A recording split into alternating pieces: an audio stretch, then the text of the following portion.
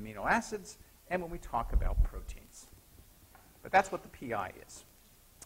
Okay, well, let's turn our attention to amino acids. We're starting to talk about protein structure. And we started talking about protein structure at the very simplest level, that is, the building blocks that make up the protein. Hopefully, everybody learned in basic biology and organic chemistry that the amino acids are the building blocks of proteins. There are 20 amino acids that are most commonly found in proteins. There are a couple of oddball amino acids beyond the 20. And some of the 20 get modified, okay? But for the most part, we're talking about 20 amino acids that make up proteins. Okay? Proteins are the most complicated structures you will find in a cell. Indira, my wife and I were uh, sort of scoffing recently. There's a, there's a YouTube video out there, and there's a lot of crap on YouTube, probably including me, but there's a lot of crap on YouTube, right? And one of the crap things on YouTube's told students that DNA is the most complicated structure inside of a cell. Just total bullshit. Okay? Proteins are easily the most complicated structure inside of cells, all right? And the reason that they're complicated is you got 20 possibilities at every site. Every single amino acid has 20 different possibilities. So when we look at a protein, we realize that there's a lot of diversity, a lot of complexity to proteins. Okay? We'll talk about proteins as having four levels of structure. Four levels of structure. Primary, secondary, tertiary, and quaternary. Not all of them will have all of those. All of them will have primary. All of them will have secondary. Okay? Then we'll talk about the others a little bit. Let's talk about first looking at, at, what this is primary structure of a protein. So I'm going to lay out what these structures are for you just in terms of definitions, and then we're going to talk about them in some detail. The primary structure of a protein is the easiest one to understand. Okay? It is the sequence of amino acids making up that protein. So a protein might have a sequence where the first amino acid is methionine, the second amino acid is aspartic acid, the third amino acid is lysine, the fourth amino acid is leucine, doesn't really matter for our purposes here. That protein is going to be different from a protein that has a different sequence of those amino acids. And the reason is because each amino acid is chemically different than the other ones. So ultimately, and if there's one idea I want you to plant into your heads about proteins, ultimately, the sequence of the amino acids in a protein, that is, the protein's primary structure, the sequence of amino acids in a protein determines all of the other properties of the protein. Everything ultimately comes down to the sequence of amino acids. Okay? The amino acids are joined together by covalent bonds. And covalent bonds are the only bonds holding together primary structure. You remember from what I said about bonds to begin with that covalent bonds are very strong. They're much stronger than hydrogen bonds. And that's important because we don't want the amino acids coming apart easily.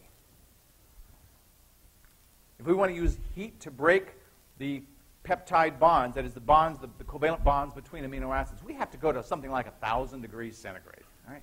It takes a lot of heat to break covalent bonds. Well, of course, proteins aren't encountering that in our bodies, hopefully. Real hothead, right? Okay.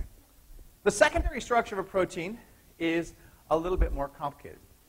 When we go from primary to secondary to tertiary quaternary, what we start talking about are interactions between amino acids that are farther and farther and farther away from each other. Primary one amino acid to the next amino acid, that's a distance of one amino acid, right? There's no distance. You don't have, you can't say that a protein has a primary structure where the first amino acid is linked to the fifth amino acid. Because the first is linked to the second, the second is linked to the third, the third is linked to the fourth, and there's no jumping over that gap. Okay? The secondary structure relates to interactions between amino acids that are close but not immediately next to each other. These will typically be interactions between amino acids. And notice I said typically. It's not an absolute thing, but typically between amino acids that are between 4 and 10 of each other in primary sequence. If I look at the primary sequence and I see two amino acids that are about 4 to 10 amino acids away from each other, if they're interacting, that can give rise to a type of secondary structure. Okay? Tertiary structure relates to interactions between amino acids that are farther apart than 10. Okay? So I might see amino acid number 16 interacting with amino acid number 238. And if I saw that, I would say, okay, that's part of a tertiary structure of a protein. As I say, I'll give you some examples of these as we go through and talk about them. Well, if tertiary is greater than 10, how can quaternary fit in? It turns out that quaternary structure relates to interactions between separate polypeptide chains. A polypeptide is one protein. So two polypeptide chains can interact. We will see that many proteins have what we call multiple subunits. Hemoglobin is one we'll talk about a lot. Hemoglobin has four subunits, and how those subunits interact with each other relates to what we call quaternary structure. Okay, so that's the four levels of structure that we see. As I say, we'll go through in some detail about. Before I talk too much about primary structure, though, I do, want, I do need to talk about the chemical properties of the individual amino acids that are in a protein. Okay? All right. First of all, you learned in organic chemistry that carbons that have four different things attached to them can have those four different things arranged in three-dimensional space in two different ways. Okay? Now, chemistry has a very elaborate scheme for how you identify which one's where. Biochemists are really lazy people. Okay? We're really lazy, and that's going to benefit you guys a lot. Okay? We're not going to go through those elaborate naming schemes. In fact, where we have opportunities to do elaborate naming schemes, we will usually avoid them. In the case of the two different ways to arrange the four groups around a carbon in an amino acid, we refer to them as the L isomer and the D isomer. I'll give you some other good news. You're not going to have to draw one. Okay? You're not going to have to draw, hey, Kevin, this is an L isomer. Hey, Kevin, this is a D isomer. But you should know that they exist. Okay? Now, it turns out that this is very important because if we look at the amino acids that are found in proteins, we discover a very, very interesting bias. Essentially, all of them are in the L configuration. Essentially, all of them are in the L configuration. How the L did that happen, right? Well, the way that that happened was proteins get put together in a three dimensional array. They, there are enzymes, there are enzymes, the things called ribozymes that put together proteins, and they have specific three-dimensional configurations. They will only grab things that have the right three-dimensional configuration, and since these are different three-dimensional configurations, it turned out that if you grabbed an L, it could use an L. So this cell says, okay, I'm going to use an L, the primordial cell from which we all evolved. All right? And when it used that L, then all the progeny that came from that used an L. And so everything ultimately used L amino acids. Okay? That's where we are. Now, there are rare exceptions to that, and I'll talk about those later. They're kind of cool. They're not made, they're not put into proteins in the way that a protein is normally made, and they're done actually for defensive purposes by bacteria. We'll talk about those later. Okay? But if we throw those out, essentially everything else is in the L configuration. All right? Pretty cool stuff. Now, as we look at these schematic structures, there's some things I want you to know about them. Okay? This schematic structure basically describes, describes every amino acid. One minor exception to that, but for our, all practical purposes, this describes the way that amino acids have structure. All amino acids will have a central carbon like this called the alpha carbon. It's the alpha carbon that has the four different groups on it. There's one amino acid that only has three different groups on it. We'll see that in a bit. Okay? The alpha carbon has attached to it something called the alpha carboxyl. That's the acid part of the amino acid. All amino acids have attached to the alpha carbon also an alpha amino group. That's the amino part of the amino acid. So every single amino acid that's found in proteins has an alpha amino, an alpha carbon, and an alpha carboxyl. Okay? All amino acids that are found in proteins have a hydrogen. We don't call it the alpha hydrogen, we just call it the hydrogen. And they also have attached to them an R group. The R group, you remember from organic chemistry, is something that's a variable, and it's in the R group that all amino acids differ from each other. It's the R group that gives each amino acid its characteristic chemistry. Some R groups are very small. Some R groups are fairly large. Many R groups are uncharged. Some R groups are charged. Some are polar, and some are completely nonpolar. Okay. Now, I tell you that because I'm going to group amino acids into several categories. And it invariably happens that once I group them into categories, somebody's going to say, well, this book does it differently. That book does it differently. Okay? It doesn't really matter. We're going to use the designations I have here, recognize that different books will categorize things in different ways. We're going to use in this class the designation that I have on here. Now, you will not have to draw the structures of the 20 amino acids in this class. You will not have to draw the structures of the 20 amino acids in this class. But you should know the chemical properties of the R groups of these amino acids, and that's how they're categorized. They're categorized according to the chemistry of their R groups. The ones we will call aliphatics have relatively short side chains, and they look like this. Now, you're wondering, what do I mean by the chemistry? I'm going to tell you that in a bit. Okay? First, Glycine is what people describe as the simplest amino acid. Glycine is the only amino acid that only has three different things attached to that carbon. Huh? Well, yeah. One's a carboxyl, the alpha carboxyl. One is the alpha amino, but the other two are the same thing. They're both a hydrogen.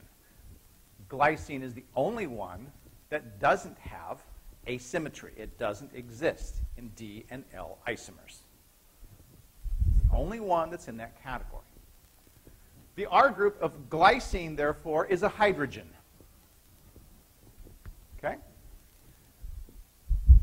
A very similar amino acid is alanine. Alanine has a methyl group instead of a hydrogen for its R group. Now, do I have to memorize that it has a methyl group? No, you don't. I think you should know that glycine is the simplest because it only has a hydrogen. That'll turn out to be important for a couple of other things later. Okay. Look at proline? Proline is another odd one. We have the odd ones popping up in the aliphatics. It's an odd one because its R group goes up, up, around, and reconnects with the alpha amine. It's the only one that does that. This guy's alpha amine is attached to its R group. Yes, you should know, proline has an, a, a ring, R group, and that ring R group is attached to its alpha amine. You should know that. Now, that turns out to be really important because, you see, this guy right here, this is a single bond between this carbon and this nitrogen. This is a single bond between this carbon and this methyl group. And in fact, every amino acid except proline has those single bonds. And what I hope you remember from organic chemistry is that single bonds can rotate. They can rotate. Rotation will turn out to be important, as we'll talk about. This guy can't rotate because if it tries to rotate, it would actually break that bond. So proline is the least flexible amino acid. Proline is the least flexible amino acid.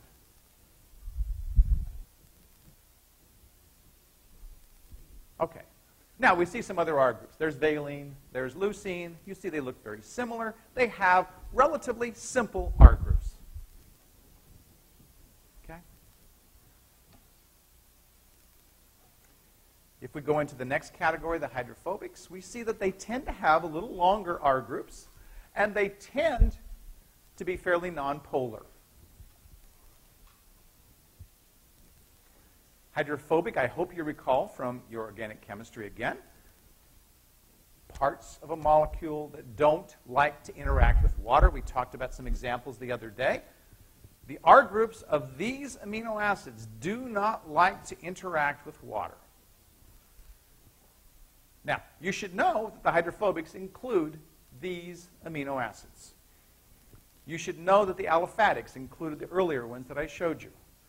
But I'm not going to say, how do you draw isoleucine?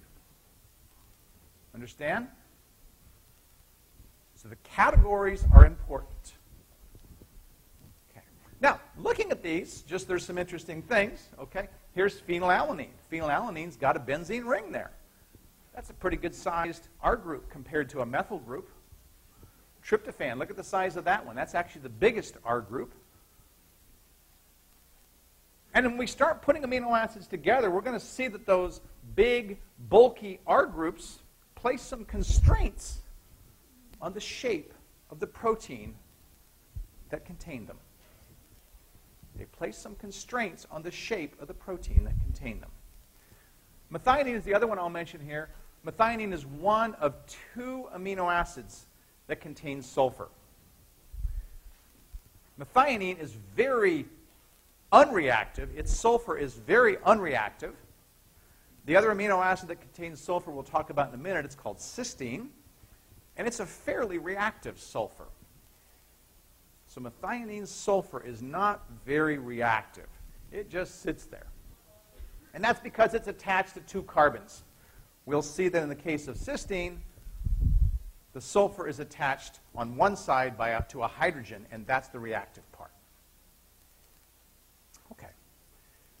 Here are the polar amino acids. They're polar because they have a portion of them that makes very good hydrogen bonds with water. And when I talk about a portion of them, I'm talking about a portion of their R group. All amino acids have portions of them that interact with water because they all have an alpha carboxyl and they all have an alpha amine. But these amino acids have an R group that has a portion of them that interacts with water by hydrogen bonds. Okay? Two of these contain, um, uh, actually three of them contain hydroxyl groups, serine, threonine, and tyrosine. And an OH makes very nice hydrogen bonds with water. The next two have uh, an amide bond, and you can see that is a carboxamide bond, which is shown right here.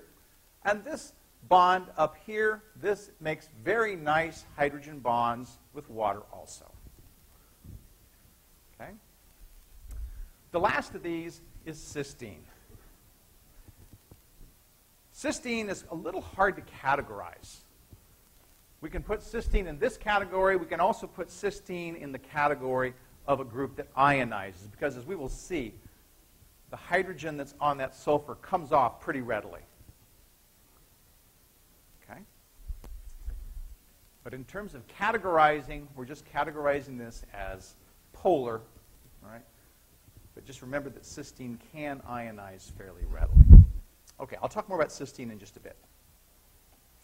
The next category are those that have R groups that ionize very readily under physiological pH. They have R groups that ionize readily under physiological pH. These guys are amino acids that contain in their R group, where am I at here? That wasn't what I wanted. Oh, I didn't put it on. I'm sorry, I've got the wrong link here for you. Uh, well, here's the category, so I'll, I'll, I'll dig up the right link for you. The category includes lysine, arginine, and histidine, and all of these three amino acids contain in their R group an amine. That amine readily accepts protons and ionizes. It becomes charged as a result of that. That's why I call it the positive R groups. Many books will call them the basic amino acids, but we're avoiding that term unless we're talking about a strong base. So I call them the, po the, the positive R group amino acids. And that's, I'll remind you, under physiological pH, physiological pH roughly 7 to 8, they will be charged. Okay? The last category are the ones that are the negatively charged R groups. Some books call them the acidic amino acids because their R group contains a carboxyl. There's the carboxyl of aspartic acid. There's the carboxyl of glutamic acid you'll see that the only difference between aspartic acid and glutamic acid is in the R group, where there's an extra carbon in glutamic acid compared to aspartic acid. At physiological pH, these guys will tend to be negatively charged. At physiological pH, these will tend to be negatively charged. Now, when I talked earlier about the chemistry and I said you should know the chemistry of the R groups, especially for the ones that ionize, you need to know how they ionize. I'm not asking you to know the structure, but you should know if I say aspartic acid, you should know that aspartic acid has an ionizing R group. You should know that aspartic acid has a negative charge when it loses its proton. And you should know that it has a zero charge when it has its proton. That's what a carboxy carboxylic acid has. The same is true of glutamic acid. The same is true of the three positively charged amino acids that I talked about. Lysine, when it accepts a proton, has a positive charge. When it loses its proton, it has a zero charge. Notice that there's not one simple rule. You need to know those. You, so if I say lysine, you're going to need to think, okay, lysine can be a plus one or a zero, whether it has a proton on or a proton off. The only exception I'm going to add to these is cysteine. I told you cysteine was a little odd, a little hard to place. Cysteine can lose a proton off of its sulfur. If it loses its proton, it has a negative charge if it has its proton, it has a zero charge. That's the chemistry I'm talking about when I'm saying you need to know the chemistry of the side chains. Everybody with me? Yes?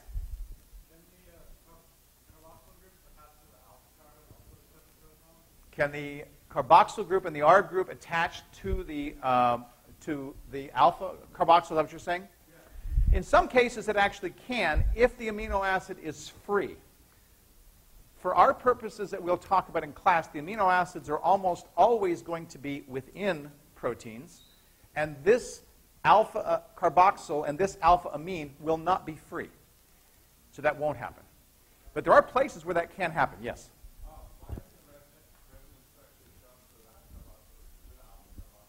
This guy right here, just the way it was drawn. Just the way it was drawn. We will talk about the resonance in just a minute. Okay?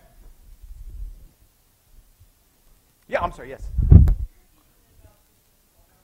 Sure. So cysteine is the one I'm adding to the ionizable group, the ionizable. So, that, so far I've talked about the positively charged ones. There were three of them. The negatively charged ones, there were two of them. Those are what we call the ionizable R groups. The other ionizable R group we're adding to that is cysteine. Cysteine can lose a proton off of its sulfur. If it loses a proton, it has a negative charge. If it has the proton on, it has a zero charge. Okay? Other questions? Everybody's totally going, God dang. All right. So, those are the properties of the amino acids. Now, this table kind of summarizes things. And in fact, this table goes a little further than I do because it shows how tyrosine, for example, can ionize. And we're going to treat tyrosine as if it really doesn't ionize. Okay? That keeps your life simple, right? We're going to treat it like it doesn't. Now, what does this show us? It shows us the acid form, which it, what it calls the acid form. This is not my table, by the way. The acid form simply being the form that has the proton. And the form that they call the base that we would call what? The salt, which has lost the proton. This table is a little wonky because on the same page of Stryer that this comes from, it gives different values for the pKa's compared to what's actually right here. So it, don't read too much into that. Look at what's happening in each case. If I said to you that something had a high pKa, what did that mean about its strength as an acid? It was a weak acid, right? A very weak, weak acid.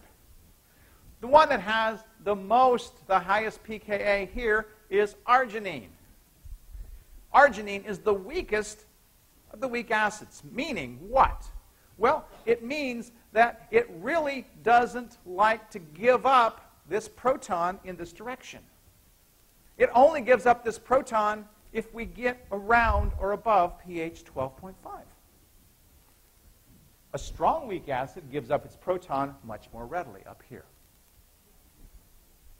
Now, by thinking about this in terms of weak acids and salts, we don't have to think about does it accept or not accept. We only think about it donating. It becomes very simple. Okay? All right.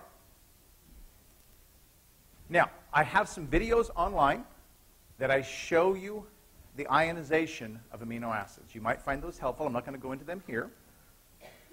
I also show on those videos how proteins that contain those amino acids are charged. And for those, both of those, the amino acids and the proteins, that rule I gave you about estimating charge, you can use. The pH is more than one unit above the pKa. For a group, the proton is off. The pH is more than one, one or more units below the pKa. The proton is on.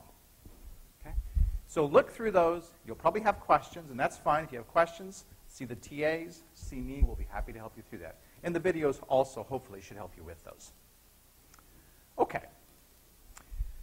Abbreviations, blah, blah. Okay. All right. You do not have to know any abbreviations of any amino acid. I'm not going to ask you an abbreviation. All right. If you want to memorize them, if you want to use them, you can use them, but you are not expected to learn them. All they are are memorizing things, and who cares about memorizing that which amino acid has which one letter code? You don't learn anything more by doing that. So we're not going to care about the abbreviations. When I give you problems on an exam, I'll write out the full name. Okay? All right. Okay, now, let's look at an ionization of an amino acid. Okay? I picked a tough one, aspartic acid. I picked an amino acid that has an R group that will ionize, as an example. Let's take a look at that. I said if we had two groups that could ionize, we would see a flattening of the curve in two places. I picked one that has three, and you see they kind of flatten out, but there's one, there's two, there's three. I want to just step you through this so you understand that. Students make a mistake when they associate pKa values, and by the way, pK1 refers to pKa1, pKa2, and pKa3. They make a mistake when they connect a pKa value to a molecular structure. pKa values are not connected to a specific molecular structure. They will always be connected to a pair of molecular structures. Notice, if I have aspartic acid with all the protons on, and when I say all the protons on, it means every group that can have a proton on it has its proton on it. Aspartic acid has three groups. A carboxyl up here at the top, and you can see that it has a proton on. It has an R group down here, has its proton on. And in both cases, the charges are zero when the proton is on. And it has an alpha amine that has a proton on. And when the alpha amine has a proton on, it has a positive charge. This guy here has an overall charge of plus 1. When it ionizes, which group is going to ionize? Well, the one that is the strongest acid.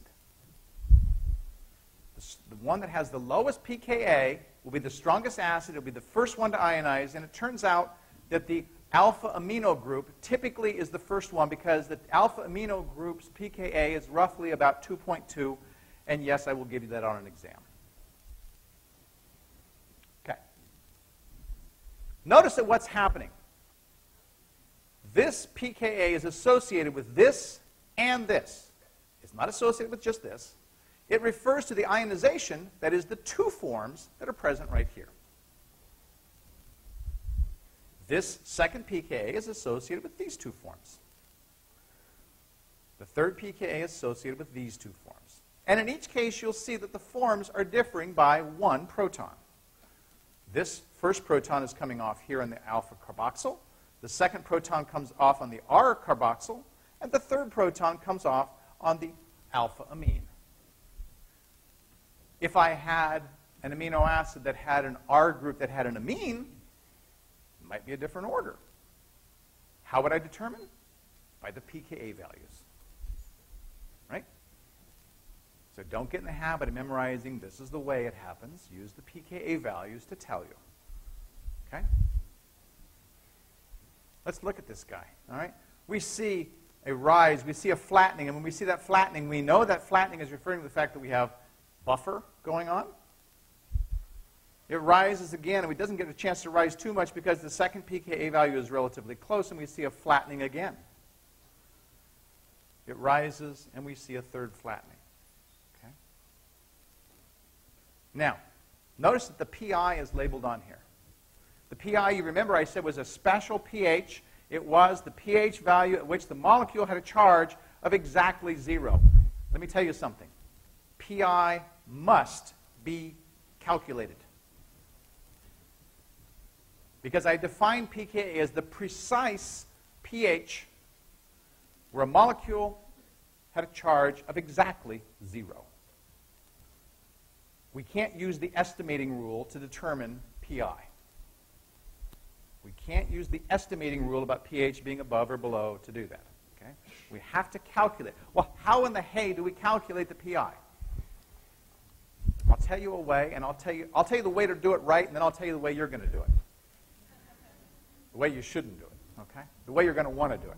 You're going to look at this and say, oh, well, the PI is very simple. If you took the pKa1 and you took the pKa2 and you average those two, you would get the PI. And you would be exactly right in this case. You would be exactly right in this case. How did I know that? Well, Let's look at this. What's the charge on this guy on the left? Plus 1. What's the charge on this guy right here? 0. And what's the charge on this guy over here? Minus 1. Now, if you want to associate pKa values with a single molecule, what are you going to do? You're going to say, oh, well, it's got a charge of 0. Uh, which pKa value do I pick? You've made the mistake already of saying a pKa value is associated with a molecule. It's not. Right? All right. if we look at this graph, we say, here's the flattening for pKa2, here's the flattening for pKa1, and right in the middle, this is where this molecule will exist. Right in the middle. Right in the middle will be the average of the two pKa's on either side of it. That's why in this case, pKa1 and pKa2, the average of those gives me the pI. Some amino acids we're going to see have PIs over here. How will you decide that? Well, if you do it the right way, you'll always get it right. The right way is to do exactly what's been done here. Charge of plus 1, charge of 0, charge of minus 1, charge of minus 2. Where's the one that is 0? Average the two pKa's around it. Bingo. If you decide, oh, he said something about averaging pKa's, maybe if I just took pKa1 and pKa2 and pKa3 and average them, I'll get it. You won't. Okay? That's the two most common things that people do. Now, the beauty of this is with this graph, I can look at here, and the way I've drawn it, I can actually see which form predominates at certain pHs. That zero form was predominating about right here. Okay? How did I know that? Well, all protons on below the P, first pKa, one proton off above the first pKa, two protons off above the second pKa, three protons off above the third pKa. Okay? These graphs tell you something. When I talk about practical chemistry, again, I come back to that term. I want you understanding meaning. What do these things mean? And not how did I do it last time? Because how did I do it last time is going to get you in trouble. But meaning will always get you what you're after. Okay? Now, try doing the same thing for lysine. Just as an example. I'm not going to do it here. But you try it. You look and see what you get for lysine and see if it makes any sense. Okay? I think if you apply what I've described to you here, you'll get the right answer. If you want to come see me about that, I'll be happy to meet with you, okay? Try lysine. Okay, questions about that? Yes, back there.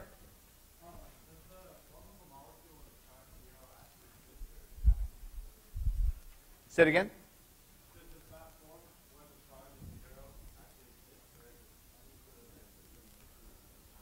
So the question is, does the, the charge with the form 0 actually exist? Certainly.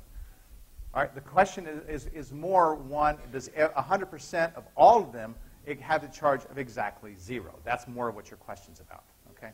For all practical purposes, 95% um, or more will have that charge, okay? And on average, everything will average out to zero at that point, which is why we calculate that precise point, okay? Okay. All right, I'm going to start for about two or three minutes talking about protein structure, what we'll talk about next time. We've now gotten amino acid structure under our belts. I want to say a little bit about how we put them together and what we get. Okay? I trust everybody learned the basic biology that proteins are made in ribosomes. And ribosomes use the genetic code to link amino acids together in the right order according to what the genetic code specifies. We'll talk about that next term, but you should know that basic idea. The reaction that's occurring inside the ribosome is what you see on the screen.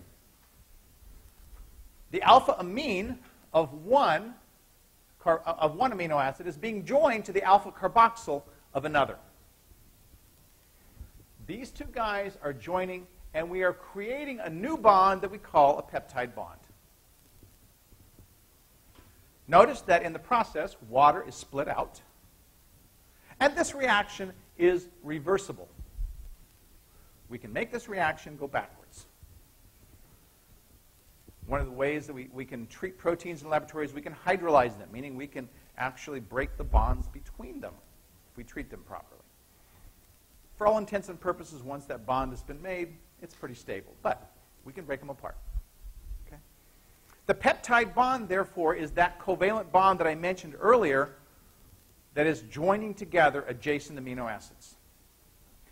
I want you to notice that in the making of that peptide bond, we actually changed the chemistry of both of those amino acids, and we changed it fairly significantly. We had a, a free alpha amine earlier. We had a free alpha carboxyl earlier. And after we had the peptide bond, that free alpha carboxyl on the left amino acid disappeared, and the free alpha amine on the right amino acid also disappeared. They are no longer free. They're joined in a peptide bond. And because they're joined in a peptide bond, you're going to like this part, they can't ionize. They cannot ionize once they have formed a peptide bond. That turns out to be a great simplification for estimating the charge of a protein. They cannot ionize. Well, let's look at this. Let's imagine, first of all, that the R1 group here is an amino acid that can't ionize, and we imagine that the R2 also can't ionize. Let's compare what we started with to what we have. We started with something that can ionize here. In fact, it already is ionized here. That is, the alpha amine was ionized. We had the alpha carboxyl ionized. On the other amino acid, we had exactly the same two. We had four things that could ionize. Right? After we made the peptide bond, we have one alpha amine left, and we have one alpha carboxyl left. Only two things can ionize. If I were to say to you, I've got a protein that is, well, let's just make it simple, three amino acids long, how many groups would ionize if the R groups couldn't, couldn't ionize? Only two. So every time we do this, we're, we're, we're, making something that's actually fairly simple. We only have an alpha amine and we have an alpha carboxyl. If I wanted to determine the charge of a protein, how would I determine it? I would simply have to determine the charge on one alpha amine, one alpha carboxyl, and any R groups that ionize. That's simple. That's very, very simple. And yes, you will have to do that. Okay? But we've just simplified that process significantly. Okay. That's about time for a song. What do you guys think? All right. Today I have someone who's going to sing the song, who can sing it much better than I can. This is somebody who took my class many years ago. He's actually has a career as a professional singer. His name is David Simmons. He's in, he just graduated from medical school. And he's going to sing a song called the Amino Alphabet.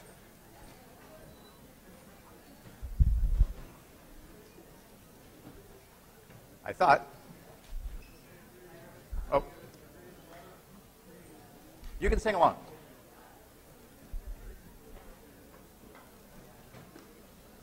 What's going on, man? The what? Oh, that's stupid thing. Okay. Yes. Oh, that's off up there. Okay, thank you. Here we go. You can sing along. Lysine, Arginine, yes, basic ones you should not miss. Hallelujah, I met, Billy aliphatic set. Proline, bens, and Cys has S. Glycines R is the smallest. Then there's turpentine and Phe, structured aromatically. Aspen glucide chains of R, say to protons au revoir. Glutamine, asparagine, bear carboxamidamines, and tiny there have hydroxyl groups to share. These 20 amino can combine a zillion Okay, have fun this weekend, guys. Last time I got to the point of talking about Ramachandran plots, and I don't want to make too big of a deal out of Ramachandran plots, all right? Because students go, oh my God, what do I have to know about this, et cetera, et cetera. Well, what you have to know about Ramachandran plots is, first of all, they're theoretical plots that tell us something about the um, structure that a protein can have. Okay? It tells us something about the structure. All right? So this was the Ramachandran plot that I showed you last time, and I, I noted that there was an awful lot of space on a Ramachandran plot where structures are not stable. Okay? Now, I'll remind you that a Ramachandran plot has a plot of, of phi and psi, and there's 360 degrees for each one, from plus 180 to minus 180, from minus 180 to plus 180. These are rotational angles of the two bonds around the alpha carbon. I don't care if you memorize which one is which. That's not an important thing. But what is important is the fact that there's only certain rotations around those bonds that give rise to stable protein structures. Anything that's colored up here is relatively stable. The darker it is, the stabler it is. All right? And the whites are basically regions of rotation around those bonds that are not stable. Okay? Now we're going to see in just a little bit that some of those rotations correspond to very specific structures that are commonly found inside of proteins. Commonly found inside of proteins. Well, that's kind of nice to know, that a theoretical plot matches up with what proteins actually have. And that not only that, but we see commonality. We see these structures over and over and over inside of proteins. And we're going to talk something about that. So that's the sort of gist of a Ramachandran plot. You're not going to draw a Ramachandran plot, okay? You're not going to interpret a Ramachandran plot. But you should know something about what a Ramachandran plot tells you. Okay. Well, I've just finished talking about what I've been discussing so far, which is primary structure. I'll remind you that primary structure was the sequence of amino acids within a protein. And I said that the sequence of amino acids, a sequence of amino acids in a protein determined everything, ultimately, about the protein. Okay? Well, we're going to turn our attention now from primary structure to secondary structure. And as we go higher levels of structure, we start thinking about interactions between amino acids that are further and further away. Primary structure was the sequence, and the sequence related to the immediately adjacent amino acid. This amino acid, this amino acid, this amino acid in a protein. Okay? There's no distance. It's immediate. The very next one is the one that matters, right? Well, the secondary structure, we expand that view out to about 10 amino acids. Okay? So secondary structure, I'm going to give you a definition here. Step, secondary structure is a regular repeating structure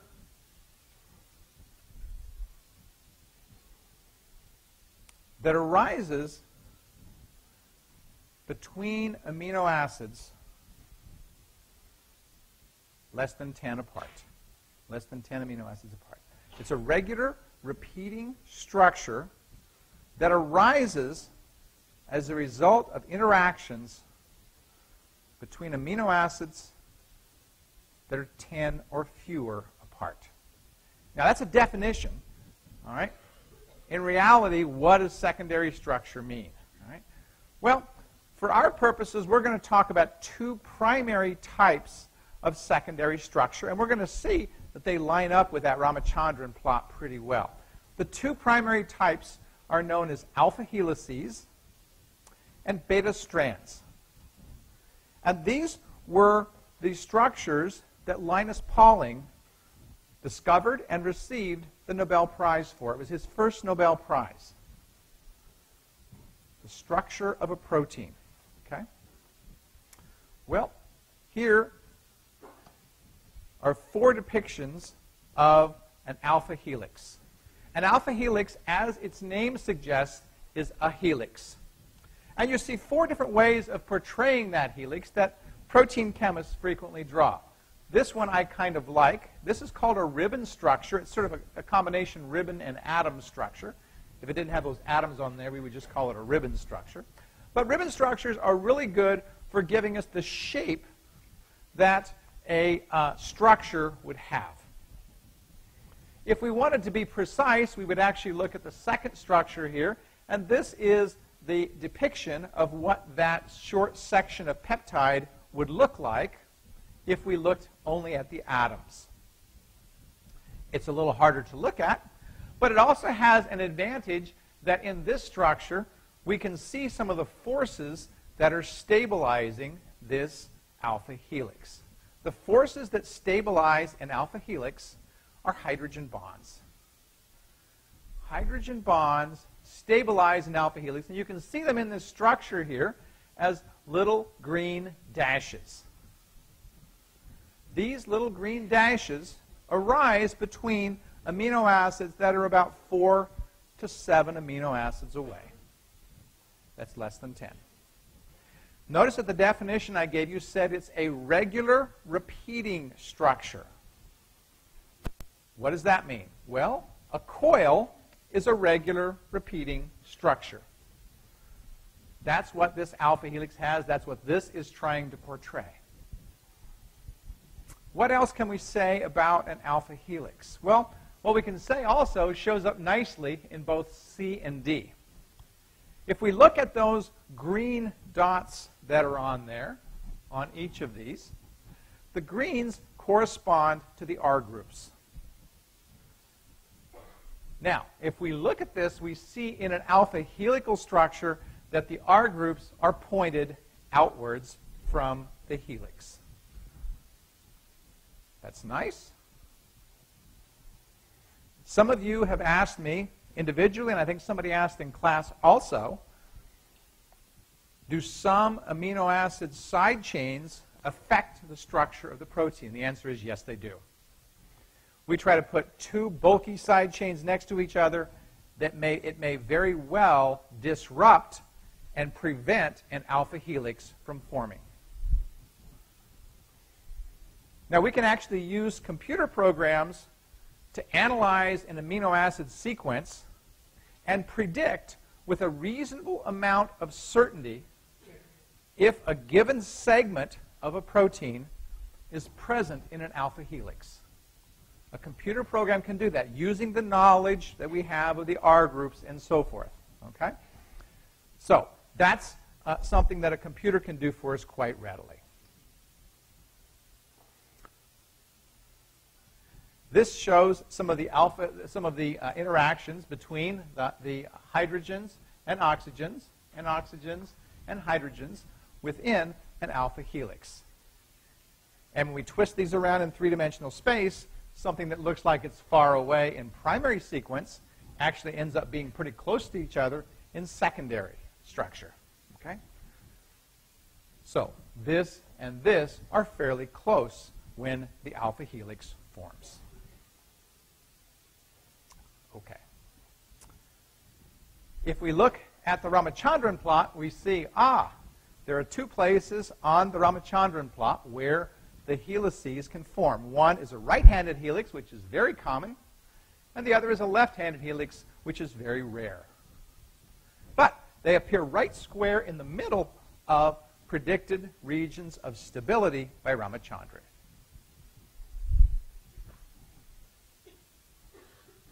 Okay. This is a nice depiction of a protein that's full of alpha helices. Okay? Now you'll notice that this alpha helix, each alpha helix doesn't just go forever. It'll have a little bend sometimes. Sometimes it'll have a bigger bend. And we'll talk about those bends when we talk about tertiary structure. But suffice it to say that there are proteins that have almost exclusively alpha helical structure. Not all proteins, but some proteins have that. All right, another common secondary structure, and the second one described by Linus Pauling, is known as what some people call beta sheets. I like to call them beta strands. If we take beta strands and we arrange them together, we get a sheet. So a sheet is an arrangement of a bunch of beta strands. Okay? We'll start here with the Ramachandran and look, oh, wow. The beta strands structure right square in the middle of the theoretical region of stability in the Ramachandran plot. What is a beta strand? Well, let's talk about that. Here's what a beta strand looks like. It's a little hard to tell from this figure what it looks like, but a beta strand is like a helix in two dimensions.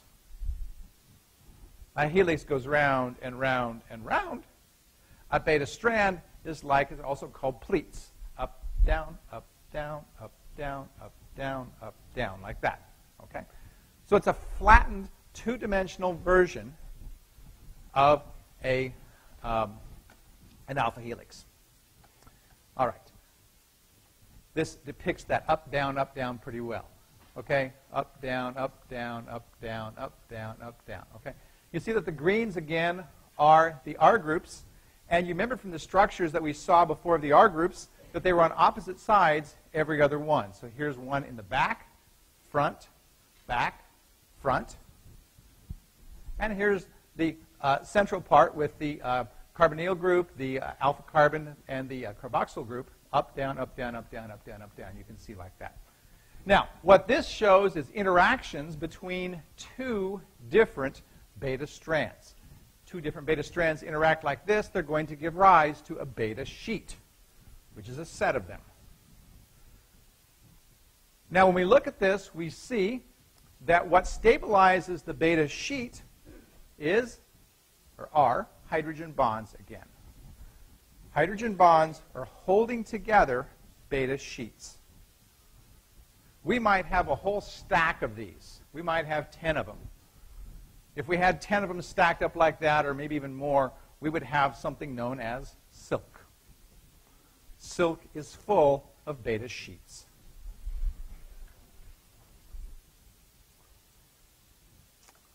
Okay. Parallel versus anti-parallel simply refers to whether the carboxyl and the amine are like this, or if the carboxyl and the amine ends are like this. These are parallel, these are anti-parallel. If this is carboxyl end, this is amino end, this is carboxyl end, this is amino end, anti-parallel, parallel. That's all it means. Okay. The overall structure, it doesn't matter if they're parallel or anti-parallel. Here is a um, an enzyme that has a structure that has beta sheets arranged rather nicely into what we call a barrel. Okay? You can see that this barrel and the blue parts are the strands that are all oriented with respect to each other. They create a barrel, and this barrel on the inside is fairly protected from water. Barrels like this we occasionally see when enzymes need to have water or protection from water for something, or they need to have a reaction contained within a certain space, and barrels work very well for those things. Okay. Now, we've talked about, I, I, showed you the alpha helix, and I said, well, alpha helix will go for a ways, and then we see a bend, or we see something else that, that sort of interrupts that. So I want to say a little bit about things that interrupt structures, specifically things that interrupt secondary structures. All right?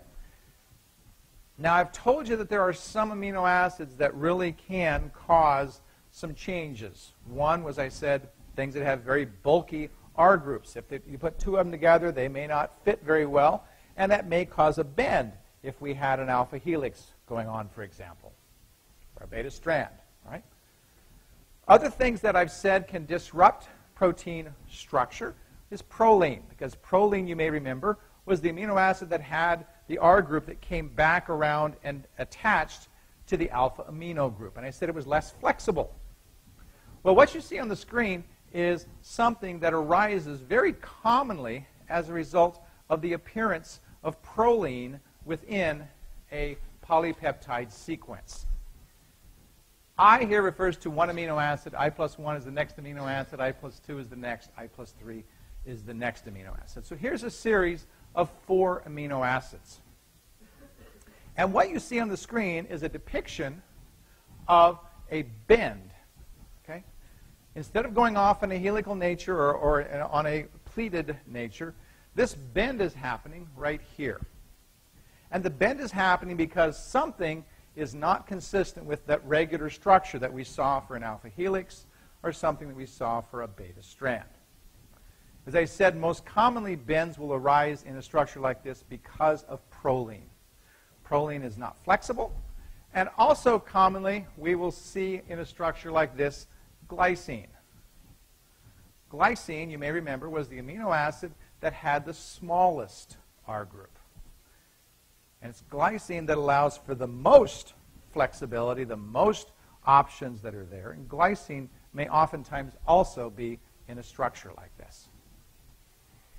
Now, bends will, will, are important for us to consider when we start considering the next level of protein structure, and that's tertiary structure. So I'm leading up to getting into tertiary structure. I'm not going to talk about tertiary structure at the moment. I'm going to save that for uh, a, a few minutes from now. But suffice it to say that tertiary structure really has a lot of bends in it. Yeah, question.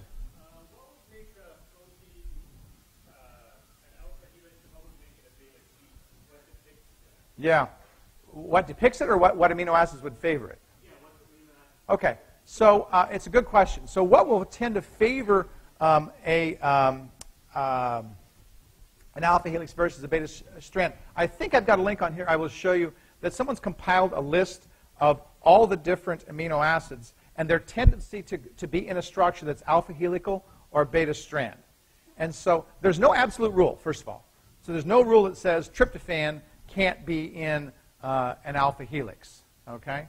Because tryptophan can be in an alpha helix. Its likelihood may be low depending upon the amino acids surrounding it. And when we start thinking about amino acids surrounding it, that was, it's what makes our predictive abilities a little bit harder to do. So if I could say, for example, tryptophan is not in an alpha helix, I would, you would say, okay, well, I'll mark that one off. But it can be, okay? So, but, but I'll show you a table that shows a preference for one versus the other and then you'll, you'll get a bit of an idea of that. Is, that. is that. is that okay? Okay. Yeah, another question.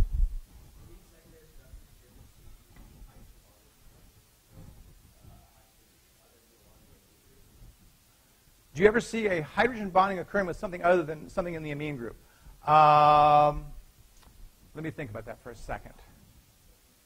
So you will not get it within the backbone because in the backbone, the only things that can hydrogen bond there are those that are, that are linked to the amine because you have to have a partial positive charge. And there's nothing in the backbone that would have a partial positive charge except for that. If we think about R groups, yes, we can have that because R groups can have a variety of things that are inside of them, but not inside the backbone. Okay? Good question. Okay. Um, I've already talked about that. Okay.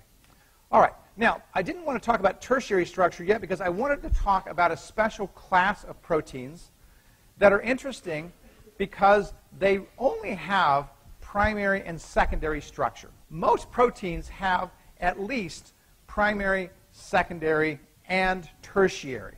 Some will have quaternary, some won't, we'll see. Most proteins have primary, secondary, tertiary, but there's a group that has almost exclusively primary and secondary and very, very little, if any, tertiary. This group of proteins that has only primary and secondary structure, known as fibrous proteins. And as their name would suggest, they're fibers. So we could imagine something that has an alpha helix and it just keeps going and going and going and going and going and going and going and going, and your hair would be a really good example. Okay?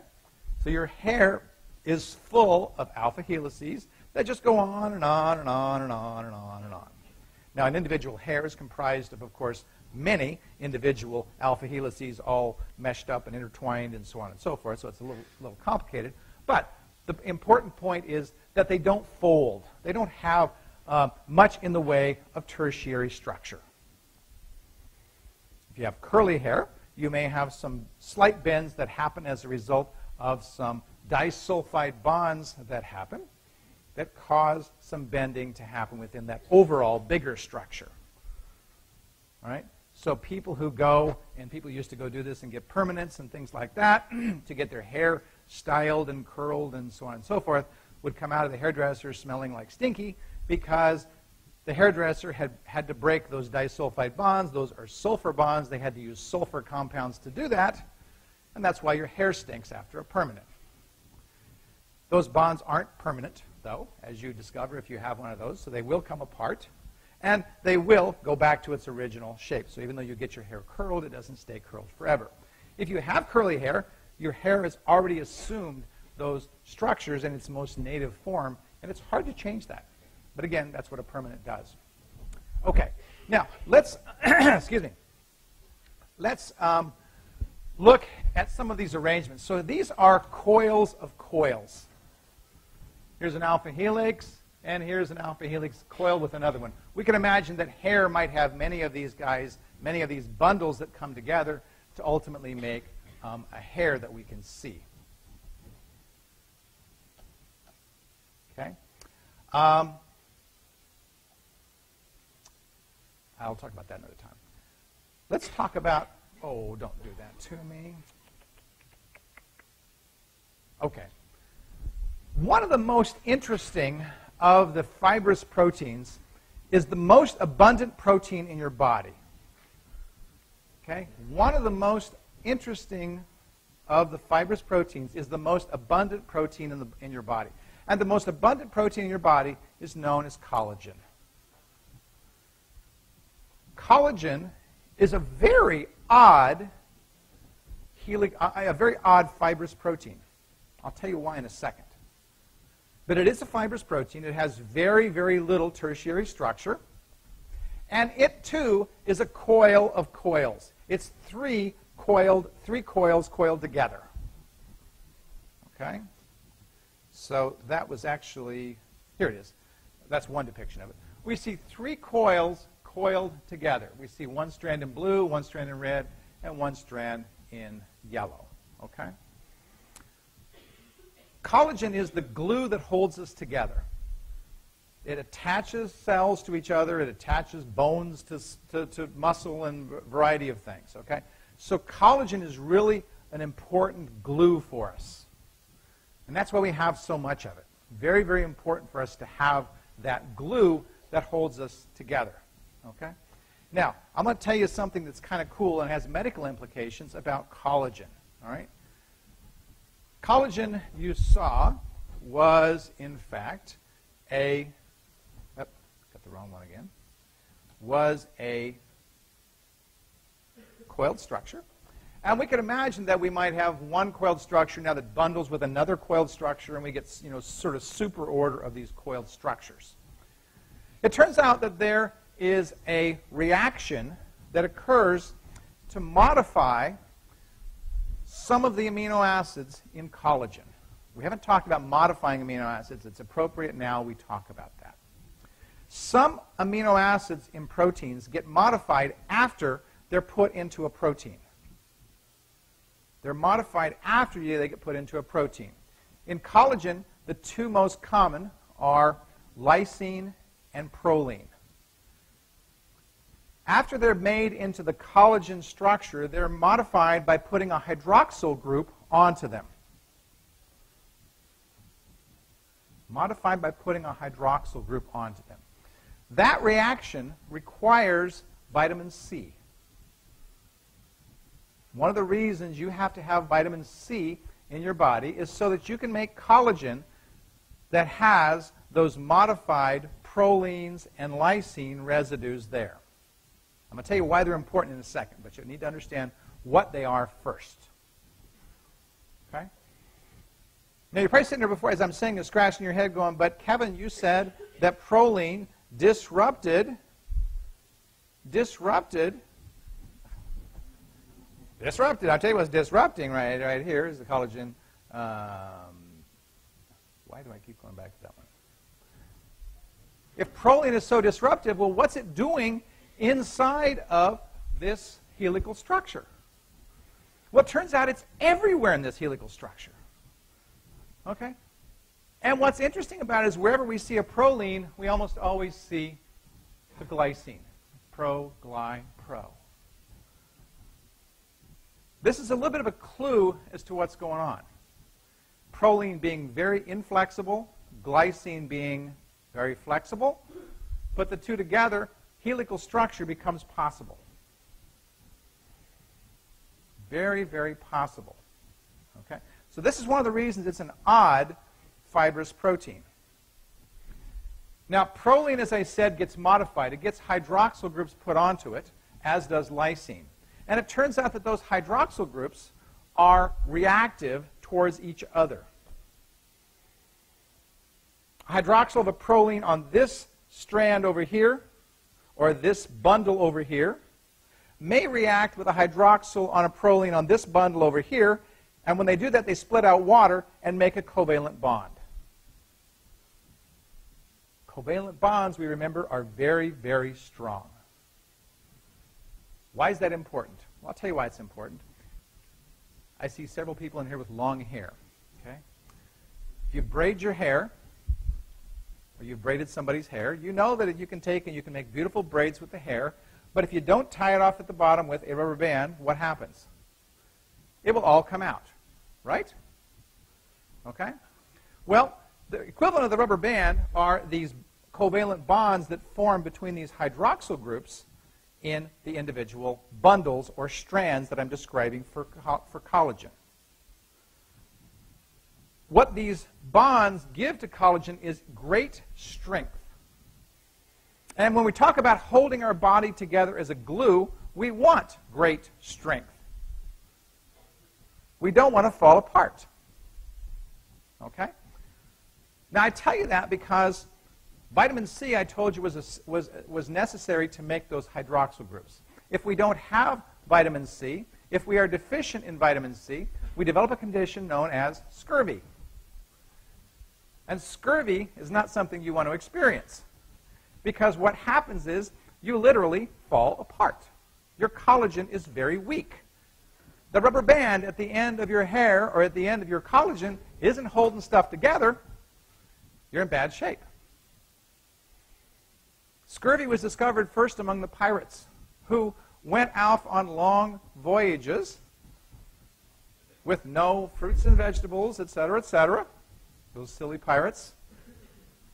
And they went out as big, hunking, ugly, mean old pirates, and they came back a bunch of wimps. They fell apart. Okay? Vitamin C is important for that reaction. It's important for making a strong collagen. Questions about that? Yes?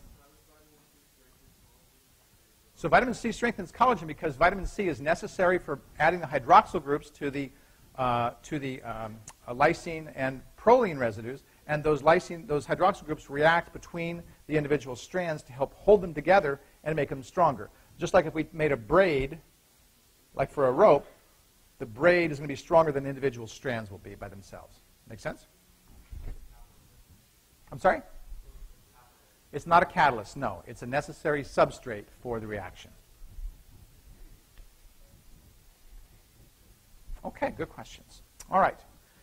I did bring up a song, so I think we'll finish today with a song, and then we will talk more about this next time. Another easy song to sing is called A Little Protein Molecule. Oh, little protein molecule, you're lovely and serene with 20 Zwitter ions like cysteine and alanine.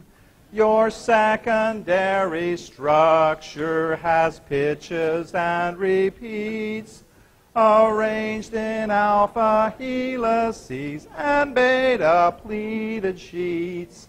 The Ramachandran plots are predictions made to try to tell the structures you can have for angles phi and psi.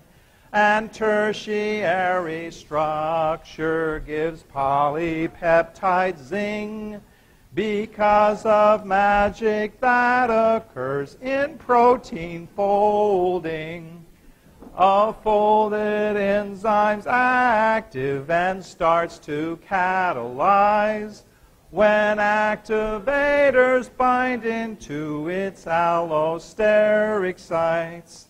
Some other mechanisms control the enzyme rates by regulating synthesis and placement of phosphates and all the regulation that's found inside of cells reminds the students learning it of pathways straight from hell. So here's how to remember the phosphate strategies. They turn the GPBs to A's and GSAs to B's. We'll talk more about those later. So that are sort of external to the basic types of structure. Okay? So the first of these I want to talk about, last time I, I finished talking about fibrous proteins. And fibrous proteins, I told you, had a repeating secondary structure, and that was really all they had. They didn't really have much in the way of bends or anything like that. And so from that, you can surmise that bends give rise to the next type of, of uh, protein structure that we talk about, and that's tertiary structure. So if you look back at your notes where I defined tertiary structure originally, I said that tertiary structure arose as a result of interactions between amino acids that are not close in primary sequence, meaning that they are more than 10 amino acids apart in the overall structure. Okay? This group of proteins that has tertiary structure is a group of proteins we call globular. And the vast majority of proteins on the face of the earth are globular in nature. When we talk about, excuse me, we talk about the process of folding, we're talking about those bends and so forth that are happening to give that overall protein structure. Here's a really good example, okay? This is a protein that we'll talk more about next week called myoglobin. And myoglobin is a protein that stores oxygen in your muscles. Okay? You see it shown in two different forms on the screen, and there's a reason for that. The one on the left is what we call a ribbon structure. Get my pointer out of my pocket here. What did I do with it? There we go. Okay. The one on the left is what we call a ribbon structure, and this ribbon structure, there we go. All right, is drawn so that you can see. Look, there's alpha helix. There's alpha helix. This guy is mostly alpha helix with a bunch of bends. And in the middle of this protein, there's a, uh, a, uh, a non amino acid. It's called a prosthetic group. We'll talk about that later. But this prosthetic group is called heme. And it's the same prosthetic group you find in hemoglobin, which is what gives hemoglobin its name. And it's this group that binds to the oxygen. Now, you see a big difference between the structure on the left and the structure on the right. So I want to talk about that difference before I talk about the tertiary nature of this. They're the same protein. The same protein. Okay?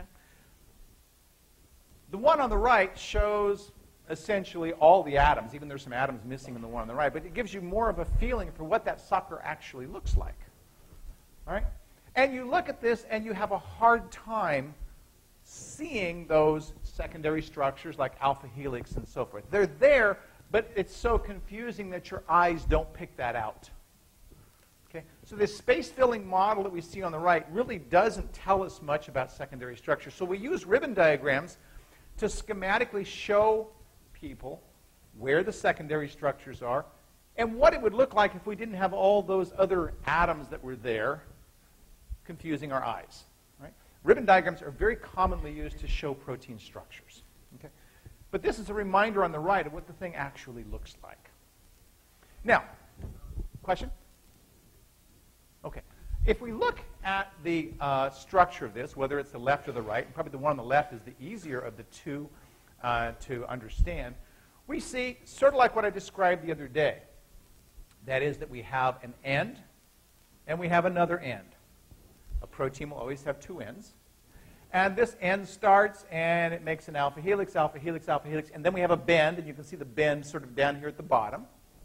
And that bend turns into something else that becomes another alpha helix, then a bend, and then another alpha helix, et cetera, et cetera.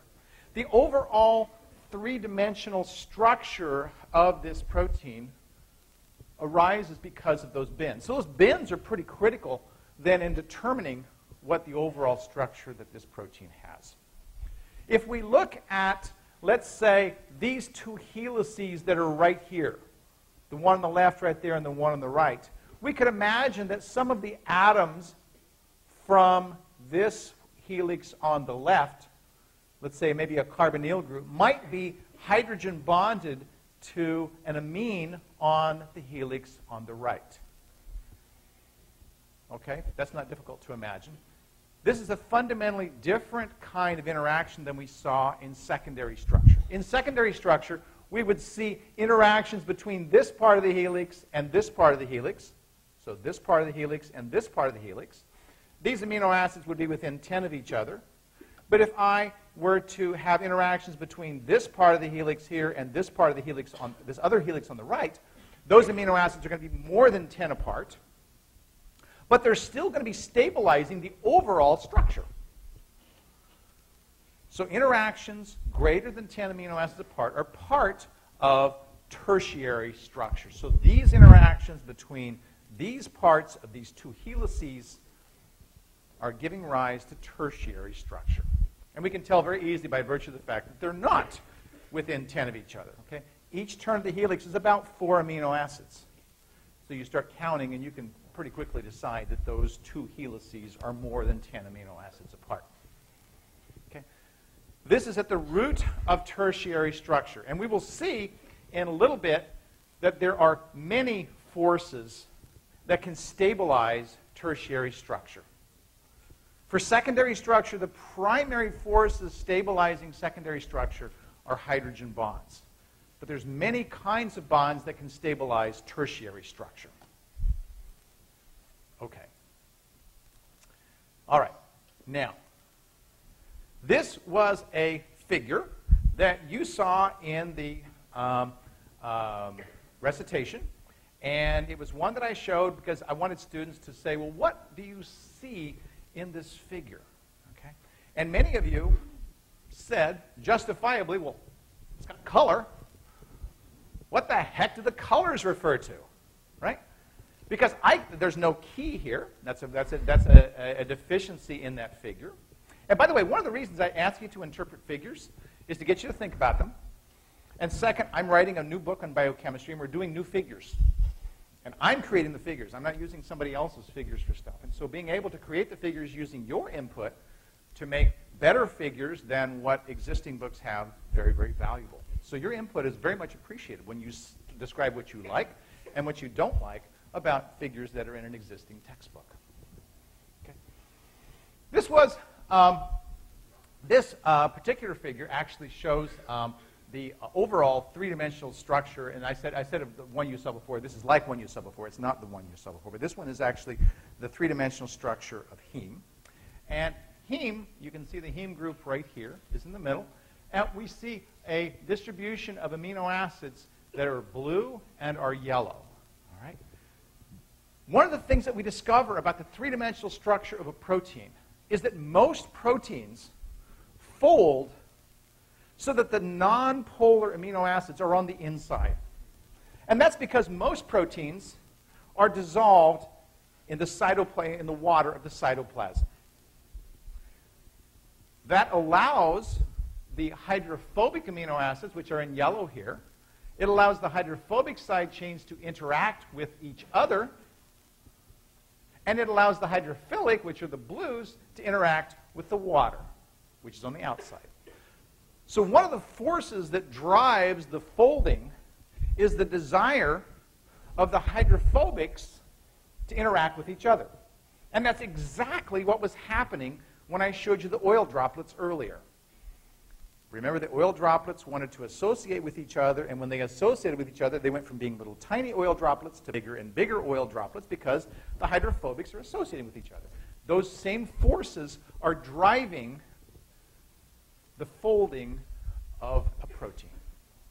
Now, not all proteins, okay, have this arrangement. You saw one example in the recitation, that's what I was referring to. The one you saw in the recitation was a protein that was sort of inside out.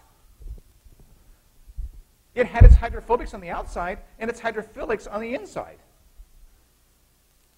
where would we have, where might we have such a situation? Okay, so aquaporin is a, is a protein that has that. Why would it have such an arrangement?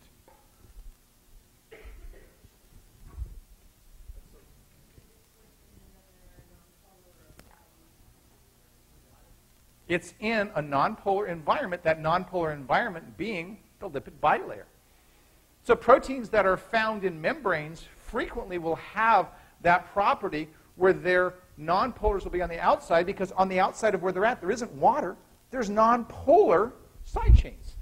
It makes very good sense. In the case of porin, or aquaporin, same, same terminology. In the case of porin, porins let water go through them. They're basically holes in the side of a cell to let water pass through. Well, on the inside, that's where the water is. That's why you see in a porin the hydrophilics being on the inside. Okay? So what we're learning about protein structure is protein structure is like everything else in the universe. It obeys the laws of chemistry. There's nothing magical, there's nothing unusual about proteins relative to the rest of the universe. And that's a very important thing to remember. I will talk later in the term about some properties of enzymes, and I will describe them as almost magical. Okay? They are almost magical in some of the things that they do. But almost magical doesn't make them magical. Okay? Chemistry rules what happens with these molecules. Okay. Uh, there's porin. Okay? All right. Now, um, a very important consideration in the structure of proteins at a three dimensional level, we're talking about tertiary structure, is that there are other forces besides hydrogen bonds that stabilize them. So, one I've already described to you that's hydrophobic bonds, those interactions between the amino acids that have hydrophobic side chains. Hydrophobic interactions stabilize tertiary structure. Okay? There's another thing that will stabilize tertiary structure, and it's a very important player. We'll see this later in the lecture as well. And they're disulfide bonds. If you take two cysteine amino acid side chains, by the way, cysteine, if you don't remember, has a side chain that has a sulfhydryl, an SH. And when I showed you that in class, I said that SH side chain is very reactive. You put two sulfhydryls right very close to each other, and they will oxidize, making a bond between the two sulfurs called a disulfide bond. And that disulfide bond between those two sulfurs is covalent. And covalent bonds, you remember, are much stronger than hydrogen bonds. They're much stronger than hydrophobic bonds. And we could imagine that they would give great stability to the tertiary structure wherever they exist. And they do. They give great stability to tertiary structure wherever they exist. Most proteins that are globular have disulfide bonds. Most proteins that are globular have disulfide bonds. So you can see in the case here of uh, a, uh, an enzyme called ribonuclease that it has in its native, when we say native, we mean normal, folded, active form. Native means normal, folded, active. Okay? In its native form, it has one, two, three, four disulfide bonds. And we know that they're tertiary in nature because we've numbered the amino acids. And we can see that with the exception of this one right here, they are all more than 10 amino acids apart. So we're having interactions between amino acids that are far apart in primary sequence, but they're giving rise to the stability of this enzyme. This enzyme turns out to be very stable. We'll talk about that later in the lecture. We can break disulfide bonds using a chemical. There are a couple of chemicals that we can use to break disulfide bonds. The most common one we talk about is mercaptoethanol. What mercaptoethanol will do is it will convert disulfide bonds back into sulfhydryl bonds, or I'm sorry, sulfhydryl structures. We see here was a disulfide bond between these two, and now we see here is a sulfhydryl, and there was where it was over here, right? So we see that we no longer have a covalent bond after we've treated these disulfide bonds with mercaptoethanol. Okay? Well, if we break the structural supports for the protein and we break the hydrogen bonds of the protein, we can probably unfold the protein. And that's what's happening here. Urea at high concentrations destroys hydrogen bonds. Urea at high concentrations destroys hydrogen bonds. So this protein, because it has no hydrogen bonds stabilizing it, it has no disulfide bonds stabilizing it, readily unfolds and comes apart. We call that denatured. When we unfold and basically stop a protein from being functional, we call that process denaturation. So we've denatured this protein using these chemicals. We could also use heat because remember that heat will also denature or break the hydrogen bonds. Okay. That's, in a nutshell, what I want to tell you about tertiary structure. Okay? In a nutshell, that's tertiary structure. There's one, uh, actually, there's, actually, before I conclude, there's, there's two other forces I want to make you aware of that will help to stabilize uh, tertiary structure. I don't have a figure for it. All right? One of these is ionic. That's pretty easy to understand. Imagine instead of a sulfur-sulfur bond right there, imagine I had a COO minus, where number 26 is, and I had an NH3 plus, where 84 is. The plus attracted to the minuses, no surprise. Ionic bonds will be attractive. They're not going to make a covalent bond, but they will be attracting each other, and because they're attracting each other, they will also give rise to stability. So ionic bonds are also forces that will stabilize tertiary structure. Ionic bonds. Okay? Ionic bonds can be repulsive in nature. We could have a, a, a minus and a minus, and that would kind of keep things apart. And that also might help to give rise to the structure, overall structure of a protein. So it doesn't even have to always be attractive in nature. The last force that I will describe that stabilizes tertiary structure are those of metallic bonds. Many proteins have metals in them, and metallic bonds can also stabilize tertiary structure. so we see tertiary structure has a lot of things that can hold it together. We might think that tertiary structure is the stablest of the forms. It's not. You might wonder why that is. Why is tertiary not the stablest? Okay?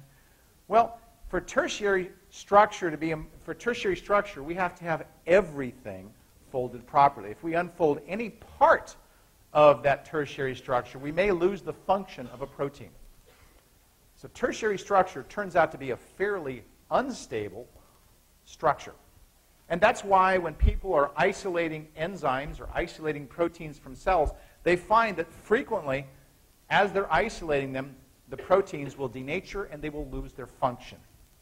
And that's because that tertiary structure is getting lost during the isolation process. We'll see a little bit more about that in just a little bit.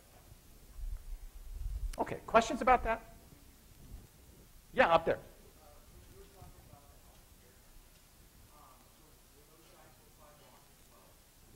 Okay, talking about the alpha keratin, were there disulfide bonds there as well? those were disulfide bonds as well. So we talked about the curling, for example.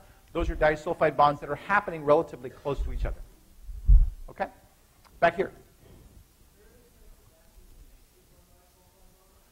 Any effect of acids and bases on disulfide bonds? Not acids and bases as such, but things that have properties of oxidizing or reducing will, in fact, affect disulfide bonds. So there are some acids, for example, that will oxidize disulfide bonds. And this battery is going bad. Did you hear me okay there? Yeah. Okay. Other questions? Okay. Um, So now we turn our attention to quaternary structure. And quaternary structure is the easiest of all the structures to understand. As I mentioned earlier, it refers to interactions between separate protein subunits. Most, I shouldn't say most, but many, many proteins have more than one polypeptide chain in them. Each polypeptide chain has two ends. So if I have multiple polypeptide chains, let's say I had a dimer, meaning I had two subunits, I'd have something over here that has a beginning and an end. I'd have something over here that has a beginning and an end. They might be the same sequence, that is, this, this sequence is identical to this sequence, or they might be different. This one's slightly different than this one. When these guys interact with each other, they're making quaternary structure. Okay? So quaternary structure relates to how those separate subunits interact with each other. We will see when I talk about hemoglobin next week that hemoglobin, the protein of our blood, contains two units called alpha that are identical to each other, and two units called beta that are identical to each other. And so it forms a complex of these four subunits together. That is quaternary structure. Okay? You can see it actually right here. Right? The red shows two units. I think these are the alphas. The yellow shows two identical other subunits, the betas. And you can see how they're arranged right here in this figure. There are interactions between the individual subunits. And if I were to say, based on what I've told you, I might say, what do you suppose are forces that would stabilize quaternary structure? What do you suppose are the forces that will stabilize quaternary structure? I heard hydrogen bonds. Every bond that stabilizes tertiary will also stabilize quaternary because it doesn't matter if they're on separate chains or not, right? They can still interact and give rise to stability. So every force that stabilizes tertiary structure will also stabilize quaternary structure. Question there, yeah.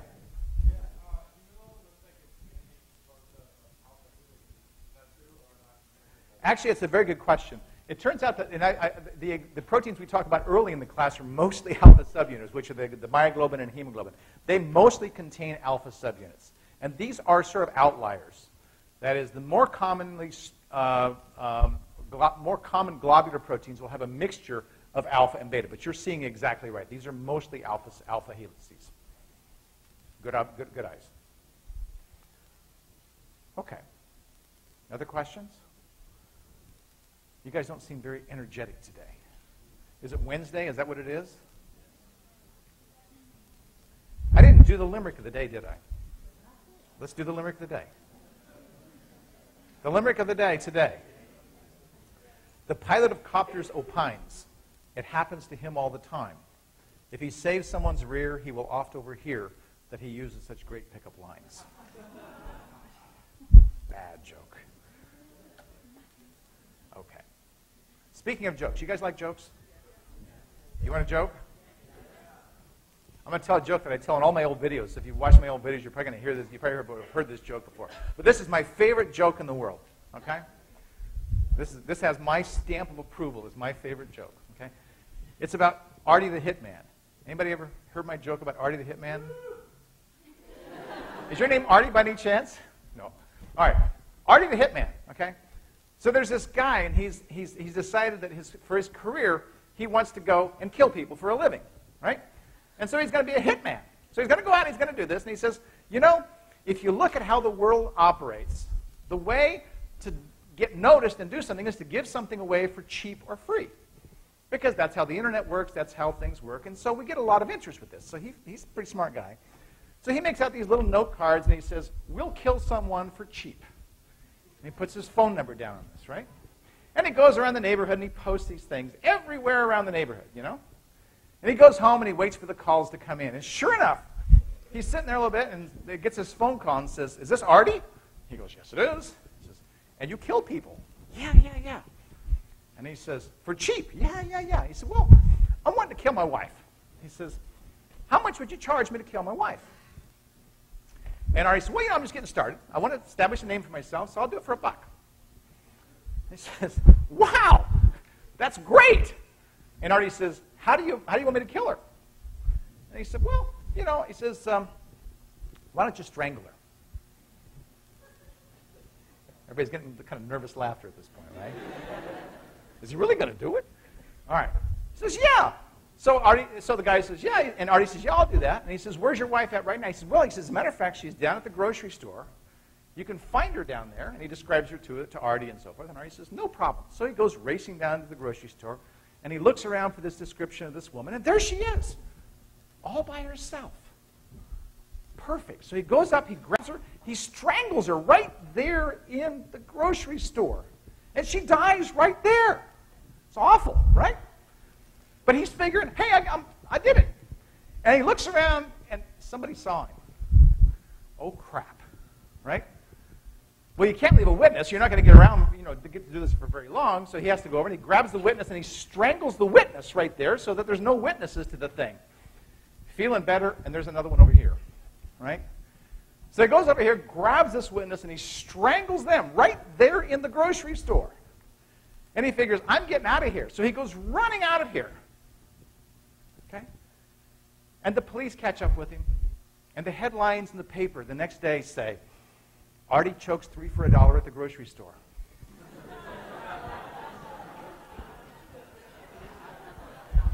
that is my favorite joke in the world.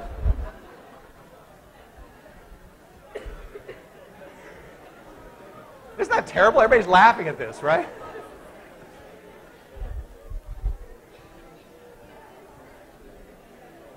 Okay, that loosened things up a bit. Artie chokes three for a dollar at the grocery store. No, yeah. good, that's good change, all right? no, I'm not going to tell another. I'll probably be in enough trouble over that one, but okay. All right. Well, let's get back to talking about protein structure because I know you guys want to learn a lot more about that. All right. Quaternary structure is essential also for actions of proteins. If we disrupt or destroy the quaternary structure of hemoglobin, hemoglobin is not going to function right. We'll see that when we talk about hemoglobin later. All right? So the quaternary structure of a protein is essential for its proper function. Okay? Quaternary structure can give rise to some pretty amazing things. What you see on the screen is the structure of a virus. And viruses, you may note, have on their surface a coating of protein that protects on the inside a nucleic acid. And you can see, you can imagine that there is a lot, or there are a lot of interactions between the subunits that help to stabilize this particle, and, they, and there are. But what's remarkable about many viruses is they will self assemble. Those pieces of the puzzle literally put themselves together to make that structure. When we think about nanotechnology and people working and making nanomachines and working on the molecular scale, nature solved it a long time ago. Pretty cool stuff. And it's arising and being stabilized as a result of quaternary interactions that are happening between individual proteins, some of them green, some of them blue, some of them red. Pretty cool. All right. Well, those are the points I want to make about primary, secondary, tertiary, and quaternary structure. Now I want to take some of that knowledge and begin to apply it. That will relate to what I'm going to talk about here and what I'll be talking about on Friday. Okay? The first of these is this enzyme that you saw earlier, bovine ribonuclease. It was the first enzyme whose overall structure and sequence was determined. Okay? You see that there are disulfide bonds that are holding together individual cysteines in this protein. Ribonuclease, and that's whether it's bovine or human or whatever, ribonuclease is an interesting enzyme, and it's an unusual enzyme. Most enzymes, if you take and you heat them up, they will denature, and they will not come back together. They will lose activity simply by heating them, even if they have disulfide bonds. But ribonuclease is an unusual one. Ribonuclease, we can take, we can heat it, we can break those hydrogen bonds, and what we discover is that if we cool it back down, it goes back to being active again. Okay? Most enzymes don't do that. Now, what that tells us, most likely, is that these disulfide bonds help to stabilize important parts of the protein so that when we remove the secondary structure, that it can reform easily and in the right orientation, allowing the enzyme to become active again. Disulfide bonds in most proteins don't allow that sort of self-assembly to happen, and that's why most proteins, when we heat them up or boil them, they lose their activity and they don't gain it back. Ribonuclease is very interesting in this respect. Okay? Yes, question.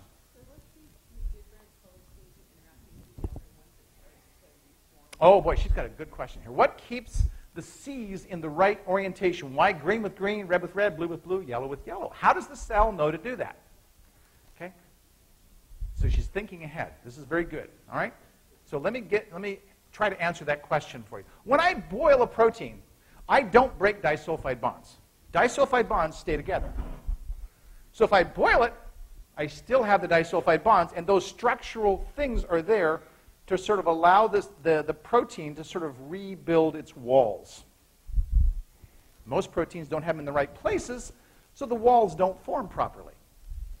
And the enzyme of most proteins gets inactivated when we boil it. This one has them in just the right places, so these walls can reform. Now, ribonuclease has some very cool things. So I'm going to st- step you through this. I showed you that mercaptoethanol will convert a disulfide bond into two sulfhydryl bonds. Okay? This is a reduction, the electrons coming from the mercaptoethanol. And when they give up the electrons, they themselves form a disulfide bond. So in essence, we are moving electrons from here to here.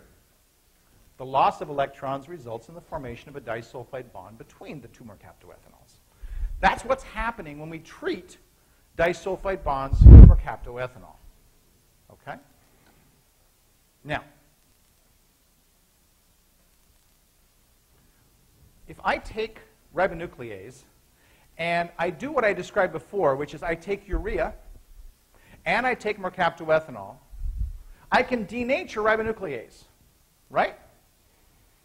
Because the disulfide bonds are broken, the hydrogen bonds are broken, and those structural things that hold it together during boiling no longer are there. The same thing would happen if I boiled it at this point because there wouldn't be any disulfide bonds holding it together.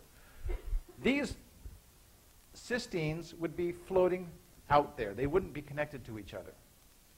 There would be no hydrogen bonds. And so let's imagine that I've done this and I've used either heat or urea to break the hydrogen bonds. Then all I have to do is either cool it or remove the urea and then ask what happens to that protein. Well, your prediction would be if we've broken the disulfide bonds, that we would see that the protein would most likely not be active because it doesn't have those structural things allowing the walls to be rebuilt. Her question here was how does the protein know which ones to make?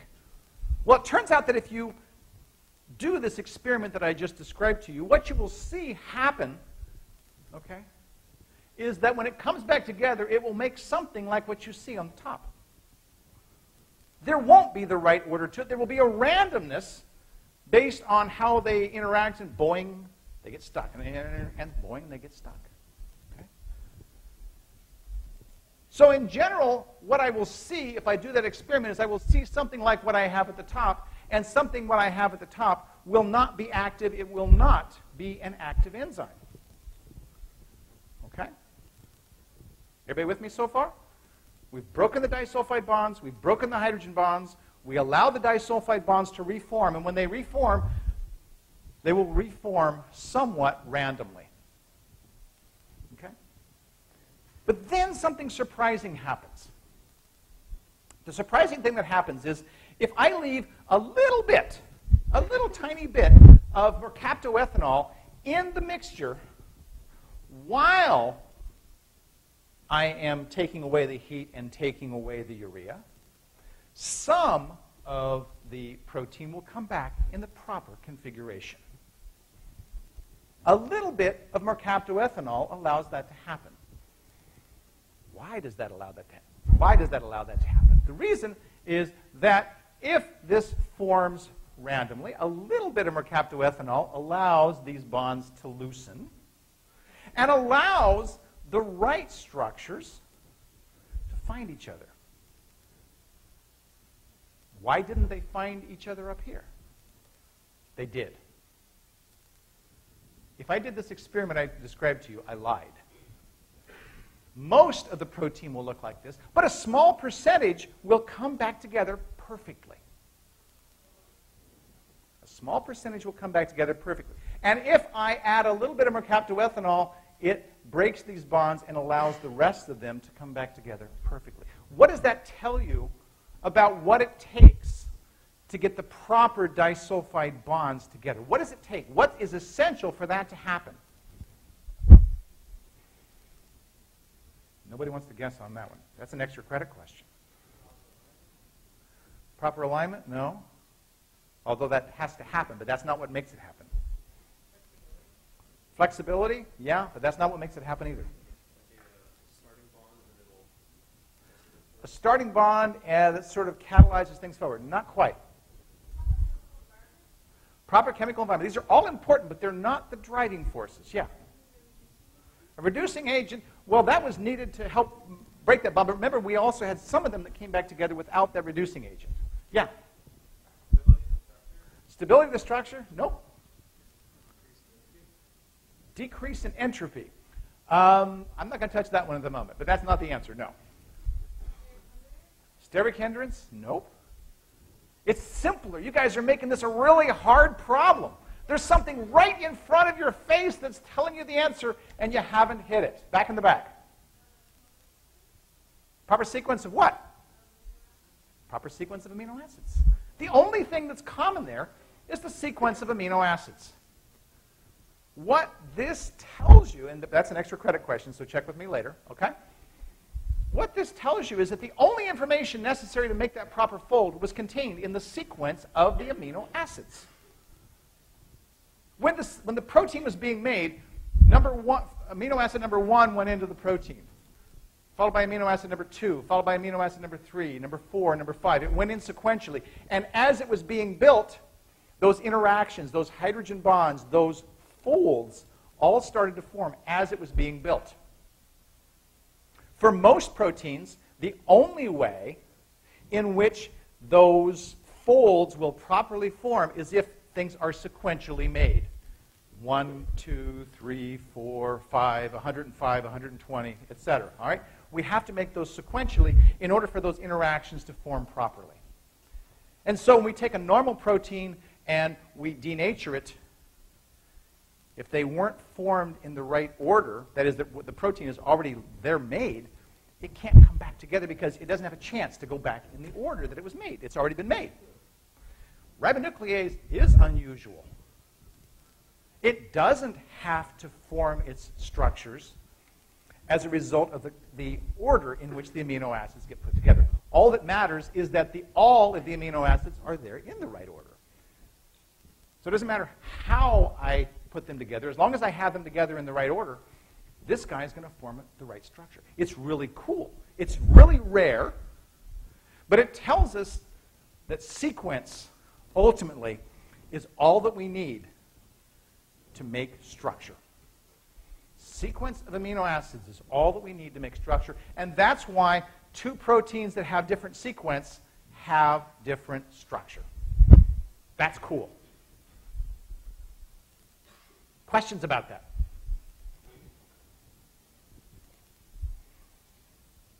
No? Was that that clear? Was that that confusing? Or has the joke worn off and you're that asleep? Yes?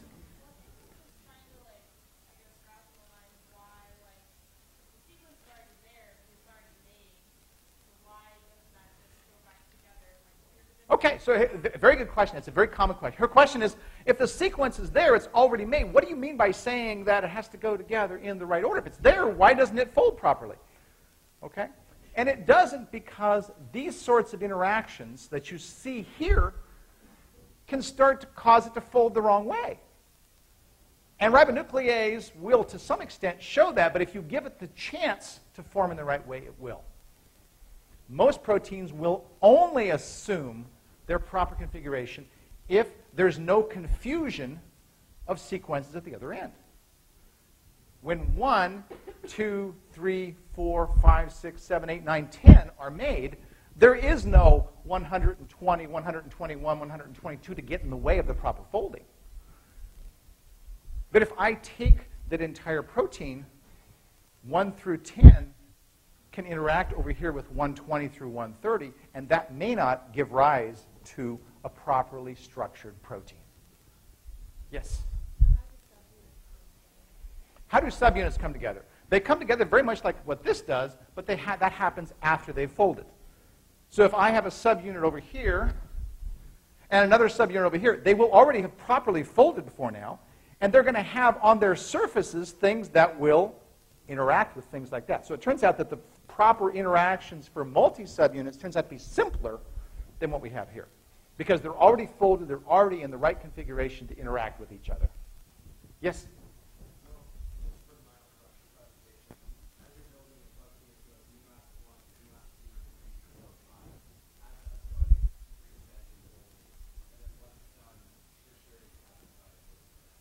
The last part, I didn't hear what you said.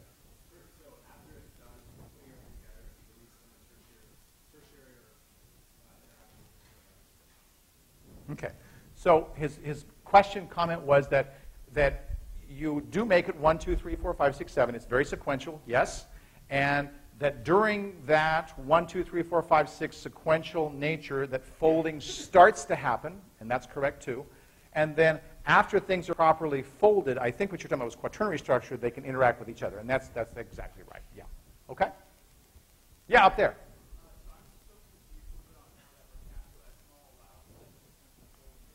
Yeah, very good question. Why does the mercaptoethanol allow that to happen? Well, it turns out that what you see here, why does this even form at all? Okay?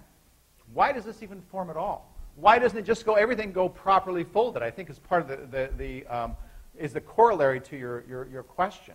Okay? Folding has a randomness, a certain level of randomness associated with it. We don't fully understand folding. What you're seeing here is trapped randomness. Okay? Now, a driving force that overcomes that randomness is the sequence of amino acids. And in the case of ribonuclease, that driving force is strong enough that it can put together some things in the proper way. That driving force is not strong enough in most proteins. So when you see this, it's a result of visualization. There we go. Visualization of that randomness because we've, we've stopped this thing at a moment in time. But when we add the, the mercaptoethanol to it, that force that is causing the protein to fold here has a second chance to overcome that randomness. Does that make sense?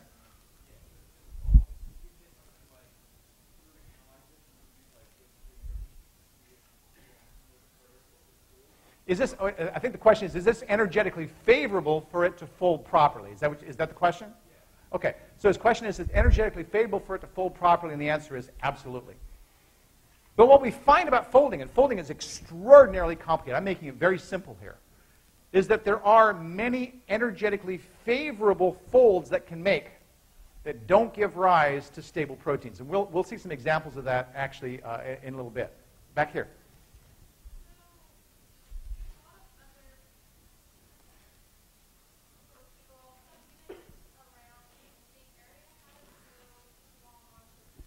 Oh, there's a really good question also. Okay?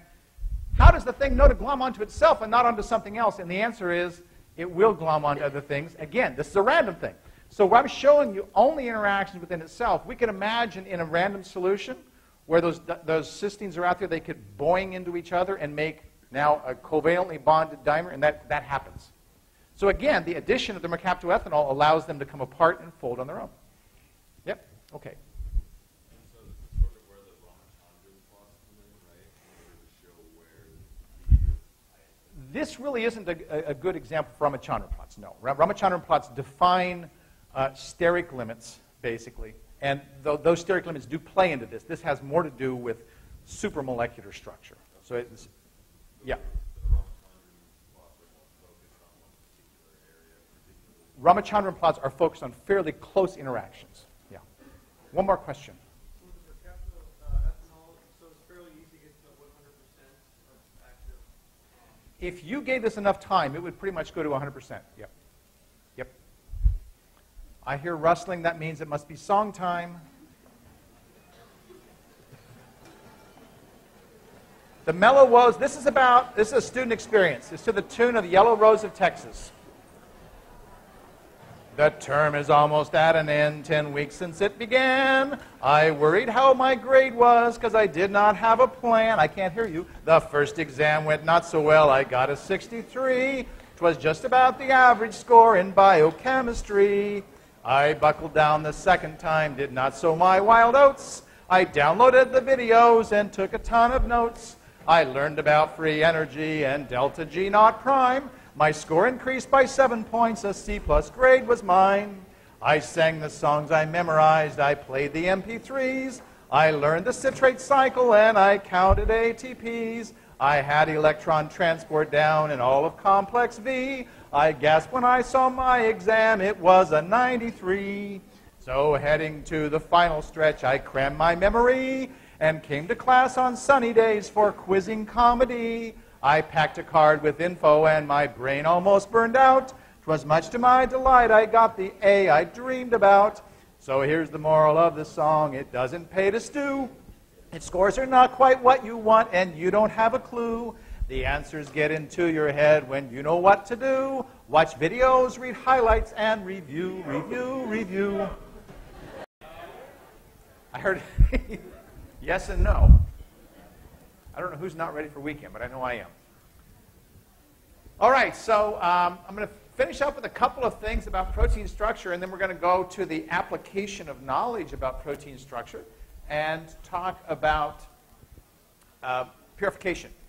Um, so that's coming up. Okay. Um, last time I um, got I talked about ribonuclease. I talked about um, how um, that folding is critical and how we can um, take apart the folding in a protein like ribonuclease. And I talked about the sort of special way that ribonuclease uh, operates because it, it really can sort of refold itself. But the fact that it can refold itself without any other information tells us that the sequence of amino acids is, is, is what drives that folding process. We don't fully understand the folding process. Okay, we don't fully understand the folding process. And I want to bring up something that um, I, I, don't have a, a, figure for because it's more of a mental exercise than anything else, but it kind of illustrates the issue of folding. So we look at folding and we say, well, okay, we look at a, a structure of a protein and we can say from that structure of a protein that, well, this sort of makes sense. We look at how the folds occur. We know that folds occur, for example, with respect to uh, prolines very commonly. We see this some, to some extent with tryptophans and so forth as well. And so these folds sort of make sense from a um, constraint perspective in terms of shape and size and, and, things like that. And we also know the forces like the hydrogen bonds, the disulfide bonds, the ionic bonds, and so forth that help to hold uh, those things together. And so that's uh, useful information. And we know the geometry, certainly, of every amino acid that's in a protein. So you might think that it would be very easy for us to take a given sequence and predict what the structure of a protein would be. And we can't. We can't do it. All right? We can predict secondary structure very nicely. We can look and say, okay, here's a stretch of amino acids that are very consistent with secondary structure. And we can say this portion of a protein has alpha helical structure, for example. And we can say that with a pretty high degree of accuracy. We don't have too much trouble predicting where certain secondary structures will be. But if you think about that three dimensional nature of a protein, you realize that those bends played a big role. And if we have a protein that's got several bends, even the slightest change in the angle of one bend really has a big effect on what the angle the next one will be, the next one will be, and, and so on and so forth. And so you might think, well, you know, we can get a pretty good idea. And people are getting better about predicting the structures of protein. And by the way, we know the structures of proteins because people measure them, they determine them. We'll talk a little bit about techniques for doing that later. Okay? But to give you an idea about the immensity of the problem, back in the 60s, people thought, well, now that computers are coming along, and now that we know something about the structure of the amino acids in proteins, and we know secondary structures and so forth. It shouldn't be too long before we can predict the three-dimensional structures of proteins with high accuracy. Okay? Well, today it's 50 years later since the first uh, real computers were out there, and we still can't do it. Okay? There was a, uh, a person named Levinthal who sat down and applied some mental logic to this problem. Now, I told you last time that there is a certain randomness in the way that these structures can form. But it's clear that what's bringing them together is not pure randomness, although randomness probably does play some role in that overall process. Levinthal said, what if the whole process were driven solely by randomness? And I, a computer is really good at randomness because a computer can say this possibility, this possibility, this possibility, millions of possibilities per second randomly putting them together. Levinthal said, how many possibilities would it have to consider on a random basis to be able to determine the structure of a fairly simple polypeptide chain? He said, what if we had one that was 50 amino acids long? That's not very long for a protein. And we considered all the possible angles that would be reasonable for these um, uh, amino acids to have between each other and the interactions that would occur between them. And we start randomly doing this. How long would it take us to calculate the correct structure of this 50 amino acid protein? When he did this calculation, he was absolutely astonished. Not only did he discover that if he took all the random possibilities and put them together, that the computers of his era would not do it. He discovered that the computers of the era that we're in right now would not do it. He also discovered that the computers of any imaginable system that we would put together in the next 20 years wouldn't do it. In fact, what he found was if we took all of the fastest computers on the face of the earth that exist today, okay, the fastest computers on the face of the earth today, and we combined all of their computing power across the world, and we put them on the problem of randomly determining interactions that would give rise to the correct structure for this 50 amino acid protein. His calculations showed that it would take a million times longer than the age of the universe to determine that structure. Yeah. Okay? There are a lot of possibilities.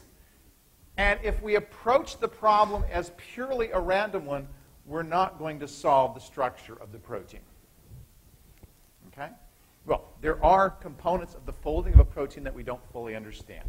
But people are making some very good headway in being able to do that. And there are claims now that there are at least a couple of proteins that people have made very, very good predictions about what that structure of a protein actually.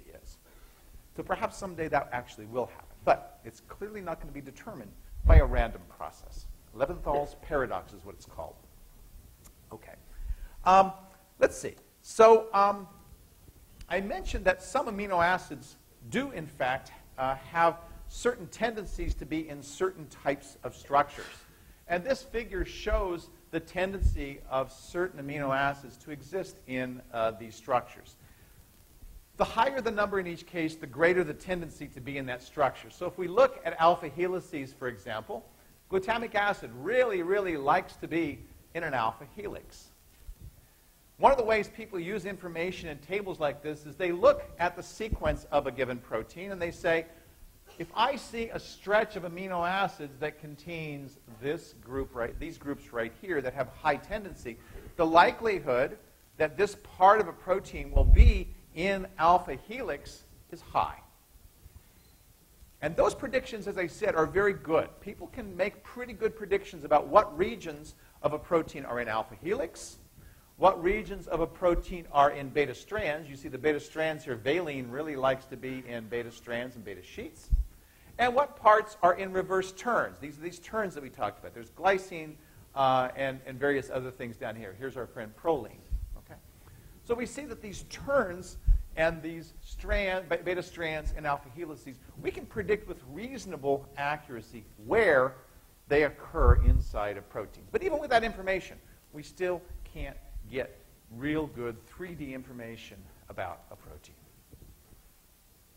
Yeah, question.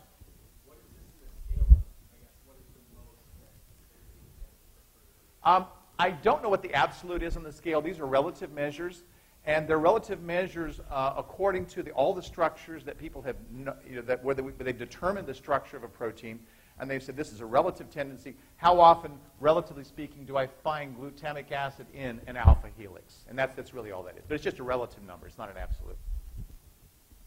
Yeah?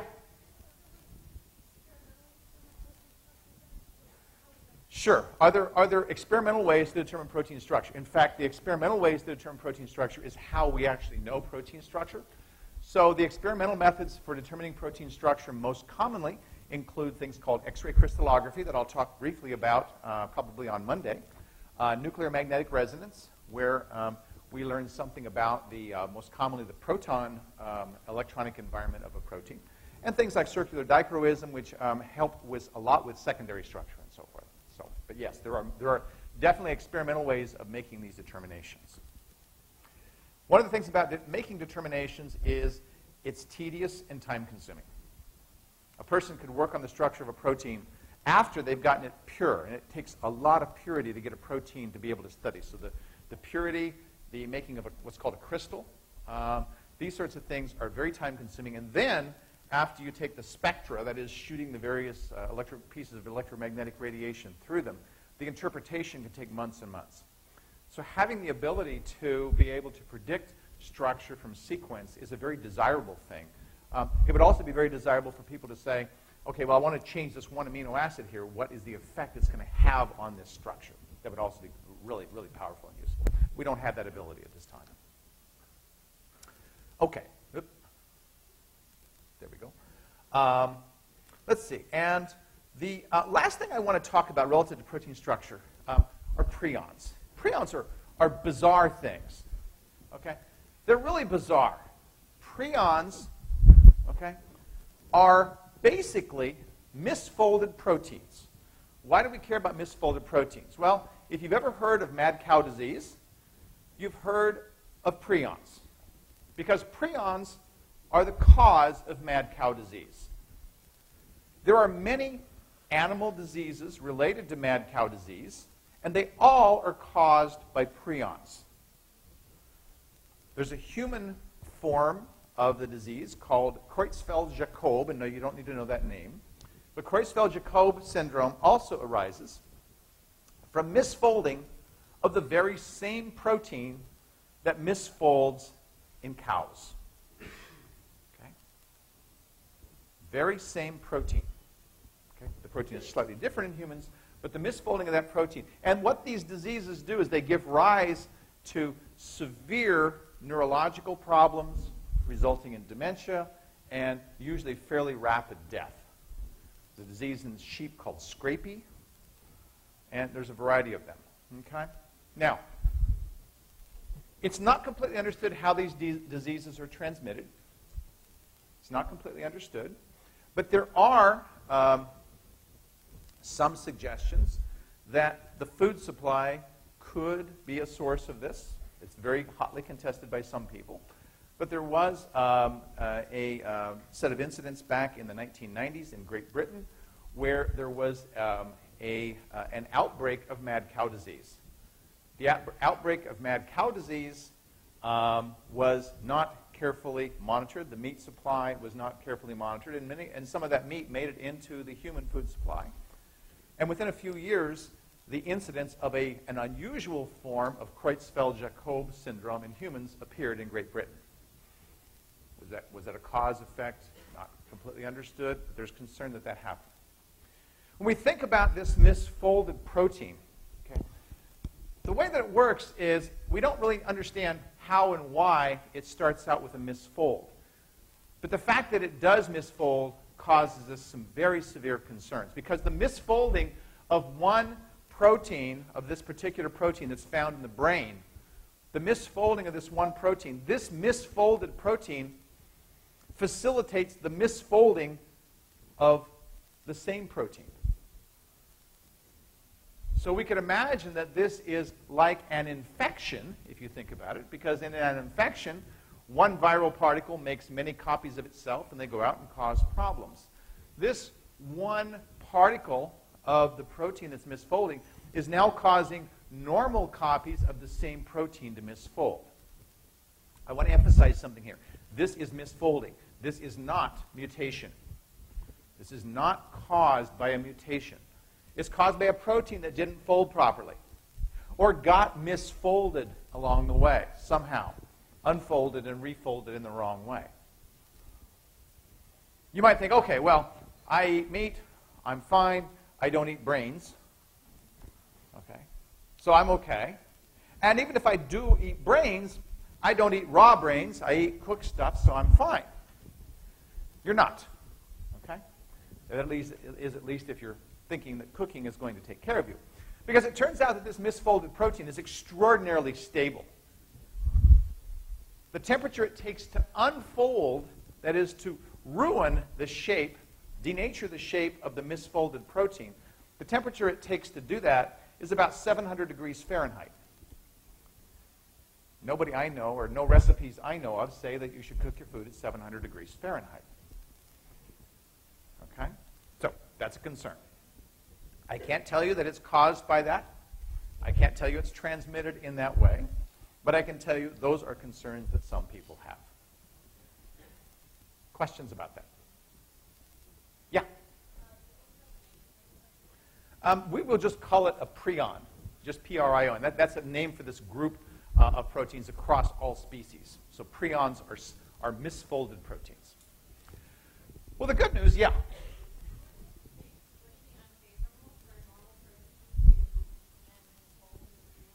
Would it be unfavorable? Well, it's certainly unfavorable for the organism. Yeah, yeah. But again, when we think about favor and disfavor from an evolutionary standpoint, okay, it might actually be favorable for this to happen. How might that happen? Well, it's happening after reproductive years. Right? So that's just one perspective. Yes, question over here. Are all prions extremely stable? The answer is basically yes, they are. Question back here.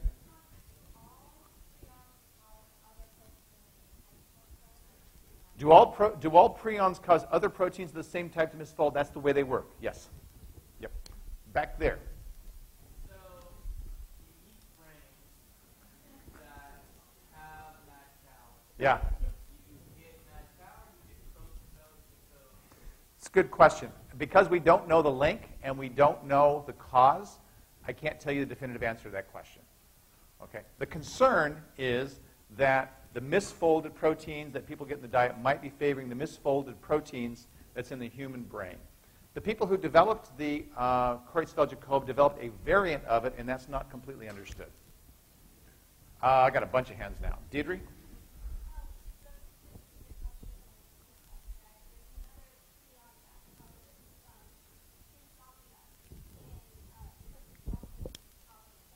Uh-huh.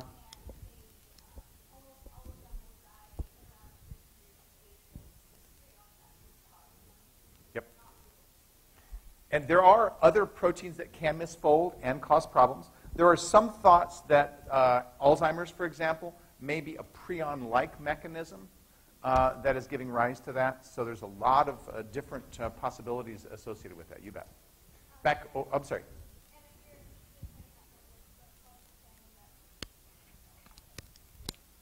Send me the link. I'll, I'll be happy to spread that to the class. Uh, let's see. Back over there.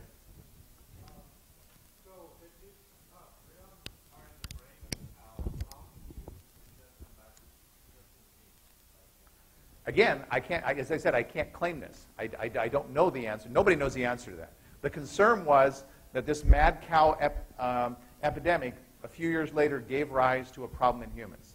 Is there a link? I can't tell you. Some people think there is. So that's, that's as much as I can tell you.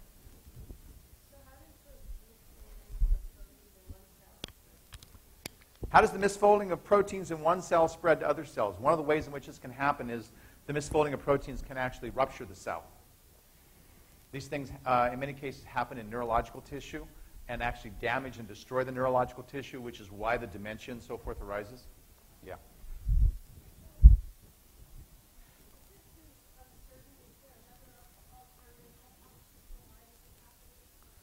Is there another alternative uh, hypothesis for why this is happening? There's no alternative hypothesis for the mechanism of prions, that is the misfolding. That's, that's very well established.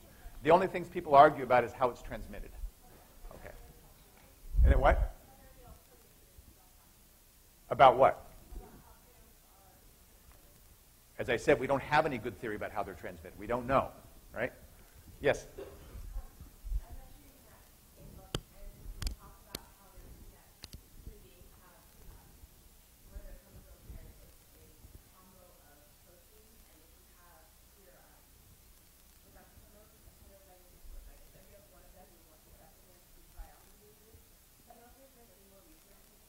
Don't know. So I'm going to talk about a, um, one of the ways in which proteins properly fold in a second. Maybe that'll give you some thoughts. How about that? I see one more hand, and I'll take one more question. Yeah. Stephanie?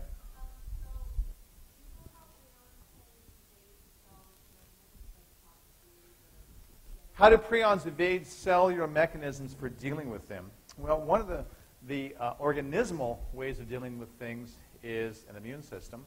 And since it's a native protein to the body, the immune system doesn't recognize it as foreign, doesn't cause a problem.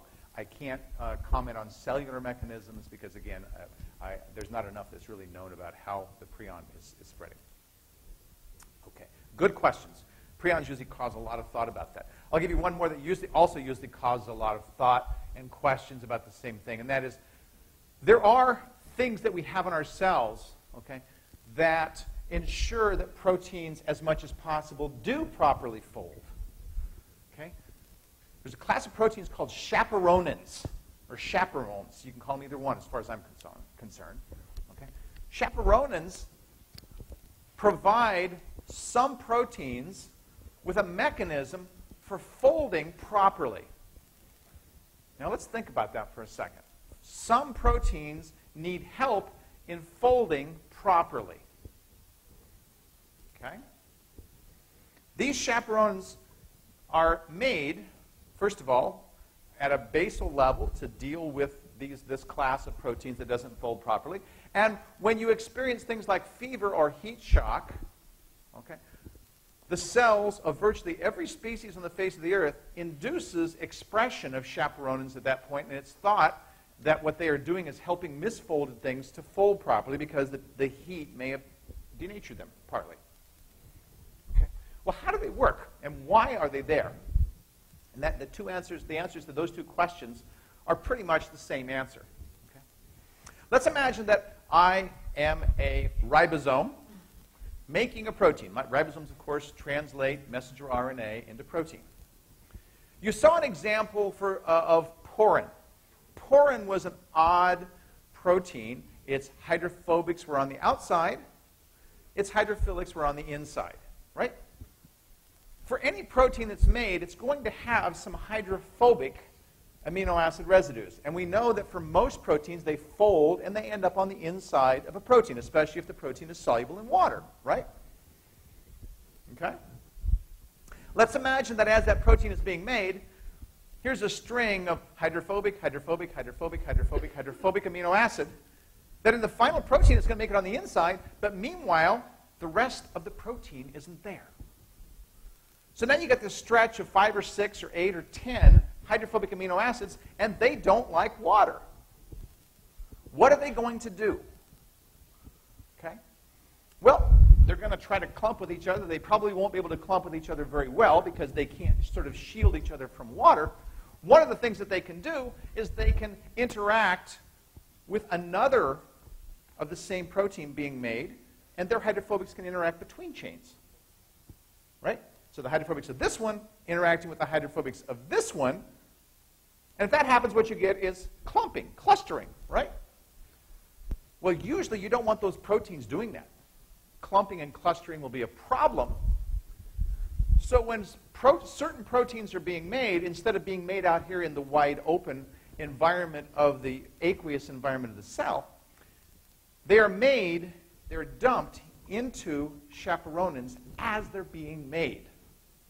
So they don't get to see each other. They don't get a chance to interact and clump. And what happens is the environment of the chaperone makes a little chamber. It's like a little tube. And this protein gets in there and it can't interact with anything else and it allows itself to fold properly by preventing those external interactions. So the chaperonin provides an environment that's conducive to the protein folding properly. That's pretty cool. Questions about that? Yeah. What helps the chaperonins to fold? Okay, not all proteins need assistance folding. Chaperonins don't need assistance to fold. Only some proteins need that assistance of chaperonins. So chaperonins don't have any problem at all with their own folding. Yeah.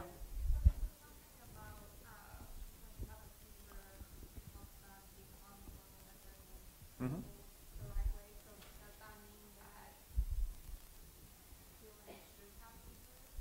That what? That you what? No, it has really little to do with whether or not fever is there. Fever actually has some advantages uh, to the body, and so we don't want to look at this as a black and white that there's good or bad associated with, with uh, fever.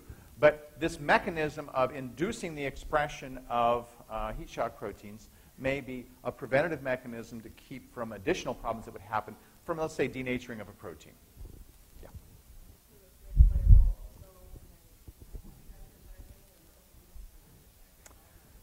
Um, does this play a role in exercising? It could. I don't know. Don't know. Yeah. yeah.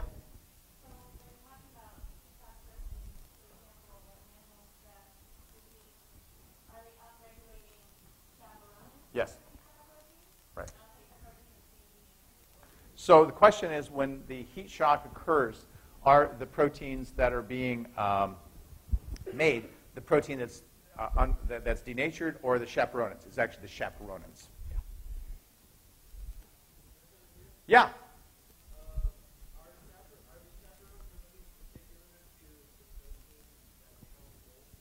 Are they particular to, uh, are the chaperone proteins particular to the protein they help fold? There are different groups of, of chaperones that may uh, play a role in helping folding to happen. So there may be some of that, but I don't know of any specific things to that. Okay? All right. Well, good questions. Obviously, as I say, these usually spark a uh, variety of uh, thoughts and questions. Let's uh, turn our attention. Oh, and I haven't done the limerick for the day, so I should do the limerick for the day at this point. The limerick, yeah, limerick, okay. The boy Kendall wondered if whether he should ask out the girl Kendall Heather to ride in his car out under the stars so they can both go out together. Woo! okay. All right. We turn our attention now to the application of knowledge about proteins to their purification. And we talk about purification here, we're not talking about spiritual purification. We are talking about their isolation. Okay? All right. Their isolation. Isolating proteins is really at the root of biochemistry. The reason, one of the reasons that you go into a biochemistry lab and you always see a centrifuge is because purification frequently and usually involves at some point centrifugation. Okay? Biochemists are obsessed with purification because if we think about it, our cells make, any, any given cell that we have makes on average about 5,000 proteins. And when I want to understand what any given protein does, it's much easier for me to understand and study the protein if it's all by itself than if it's with 4,999 other proteins. It's almost impossible for me to study it in the mix of that other proteins. So being able to study it all by itself is important, which means I need to be able to isolate it. Okay? Well, when we go to isolate proteins, we have to think a little bit about how we go about uh, doing that. I mentioned centrifugation as uh, an important step. And centrifugation applies uh, centrifugal force as a sort of artificial gravity. And that centrifugal force provides a way to separate things on the basis, uh, uh, uh, uh, crudely on the basis of size. And I say crudely because centrifugation is very good for fairly large things. If I take and I want to isolate a protein, for example, and I know the protein is dissolved in the cytoplasm of a cell, then if I take and I bust open the cell, releasing the cytoplasmic contents, what I've got is I've got a cell membrane that's floating out here that's fairly large.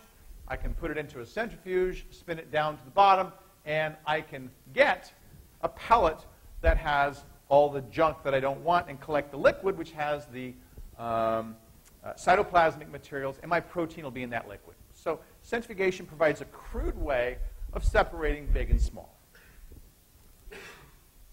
As you might imagine, the more we centrifuge something, okay, the more we can do that separation. So we see up here from uh, the top that we have a relatively uh, low centrifugal force, 10,000 times gravity, 100,000 times gravity, uh, etc. So we can do separations, uh, and there was 500 times gravity up there. Okay, so separations and use different centrifugal force means of isolating them. So that, that that's a very general uh, method for us. Once we've done that very general method, we then have to isolate um, the uh, protein from whatever it is that we've gotten. So in this case, let's say I had cytoplasm that's there. That cytoplasm still might contain a couple of thousand or 4,000 proteins within it. So I still have to do that isolation of what's in that cytoplasm. And by the way, you might say, well, why aren't they all in the cytoplasm? And the answer is because there are many proteins that are found in membranes. Okay, so many proteins found in membranes. Well, one of the things that we can do during uh, the isolation procedure is something called dialysis. Dialysis is a very simple technique. It doesn't really provide us purification of the protein, but it does allow us to separate the protein from very tiny molecules. Salts. Salts turn out to be, uh, during certain isolation procedures, salts are used to precipitate proteins. So let's say my protein uh, that I was interested in studying, I found that it was a given salt concentration that caused my protein to form a precipitate. I might say, okay, let's use that concentration. We'll form a precipitate. We put it in a centrifuge. And we take the liquid away, we've gotten rid of a lot of things that didn't precipitate. When I resuspend my protein so that it now goes back into liquid, then I want to get rid of the salt. This method would allow me to get rid of the salt. I think everybody's probably played in biology class with dialysis tubing, where you take and put a protein or some mixture in the dialysis tubing, you put it into water, and you see the dialysis tubing start to swell because the protein can't diffuse out. The water diffuses in to try to, to uh, adjust that concentration. That's exactly what's going on here. These salts are small. They can go through the dialysis tubing and they pop back out. So this is, again, a way of separating a protein from small molecules. A little bit more powerful technique is something called gel filtration. Okay? Gel filtration is, is also called um, molecular exclusion. Both of those are used to describe the same process, gel filtration and molecular exclusion. And this technique uses something very cool. You see an enlargement of it, of it over on the right side. So what you see the enlargement of is one of these tubes. These tubes are what we call a column. And the column has within it, it's been what we say packed. That is, someone has taken a bunch of little tiny beads with some liquid and they've poured it into this tube. Now, the beads have a very cool property associated with them that I'm going to tell you about. And the beads have little tiny holes within them. And they're made so that the little tiny holes that they have have a very given, much fixed given size. We can control within that bead the size of the hole, and the holes make little tunnels through the bead. Little tunnels, okay? It's a pretty cool process by which they're made. And they have a very fixed dimension. Okay? If we think about proteins proteins vary in size from being very small to being very large. And most of them are globular which means that we can think of them as sort of folded up like this. They might have different shapes, but they're mostly sort of rounded kind of structures, right? Well, if I have proteins of different sizes, I'll have some that have little tiny shapes, some that have bigger shapes, okay? And if those shapes roughly correspond to the size of these tunnels, I can use the tunnels as a means of separation. How does it work? Well, the way it works is here's a mixture of proteins. Here's some that are smaller, shown in red, and here's some larger ones that are shown in yellow. The ones in yellow are large enough that they don't fit in the tunnels. They don't fit in the tunnels. Therefore, they don't enter any of the beads. They simply stay in the solution that they're in, and they just go boing, boing, boing, boing, boing, boing, boing, and they're out. They're not going through the beads, but they're just going around them. The smaller guys up here, the smallest guys up here, fit into those little tunnels very readily. And what happens with them is they're like, I like to describe a kid at the fair. They want to go on every ride. They go through this tunnel over here. Oh, here's another one over here. Oh, here's another one over here. Here's another one over here. And the path that's something that fits in the tunnels takes is much longer, it's much greater, and it takes longer for the little guys to come out. So in molecular exclusion chromatography, or gel filtration, again, the two terms are used uh, equally, in this type of chromatography, and by the way, chromatography simply means separation. Okay? Chromatography means separation. In this type of chromatography, the largest proteins will come through first, and the smallest proteins will come through last. Yeah, question. Back. Does it use a pressure difference? No, it does not. It's just basically done with gravity, and it just flows through in, in that way. Garrett? What are the beads made of? They're made of something called Sephadex. And that, that's a trade name, uh, and it, it's uh, given for the, actually the way that this, um, these, these compounds are made. Yeah?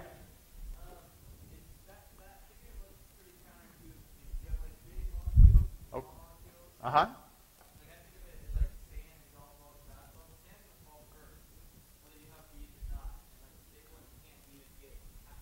It's not how, it, it's not how fast it falls. It's how, the, the length of the path that it takes.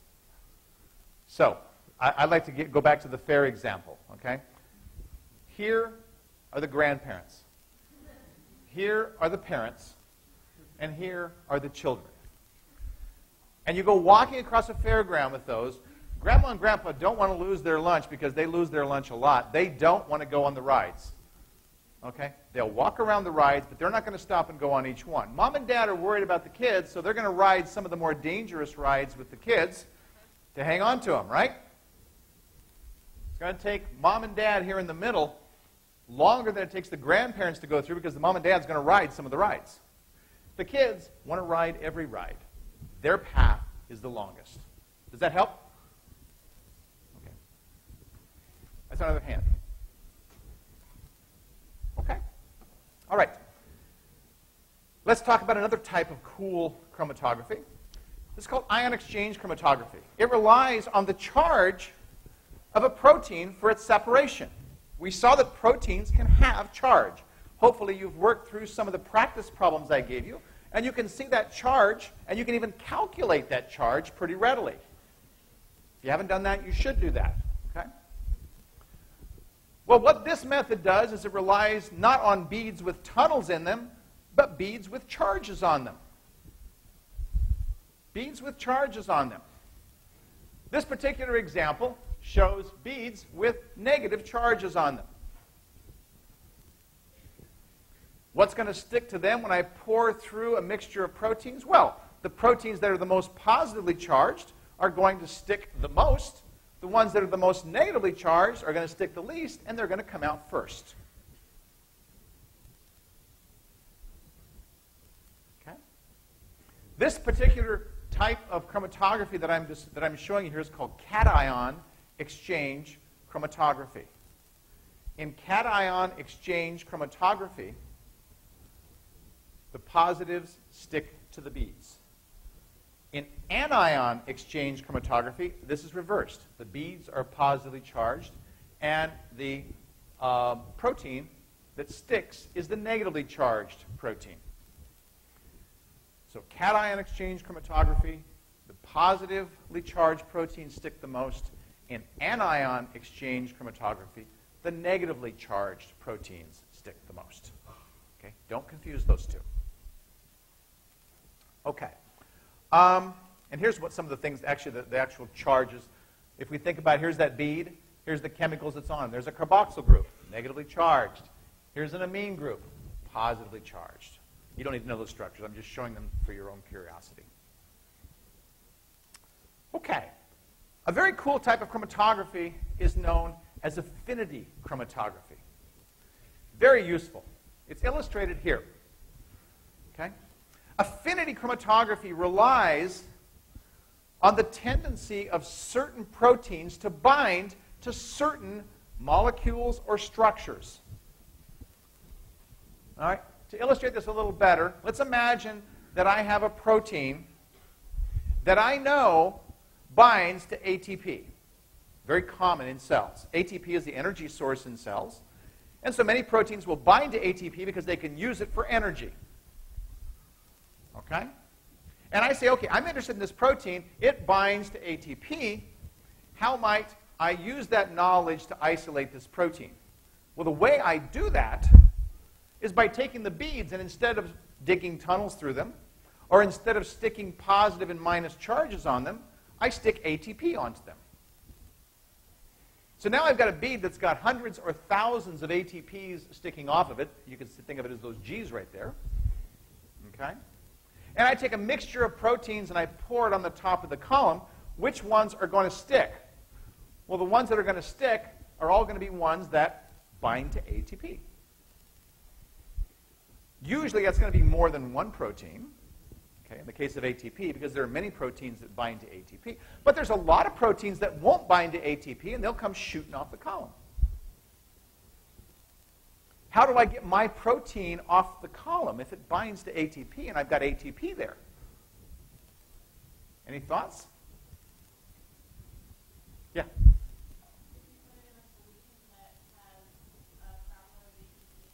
Yeah, if you add ATP to this, what will happen is the protein that sees the ATP on here, these bindings that proteins do to molecules are not covalent, meaning they come off, they go on. They come off, they go on.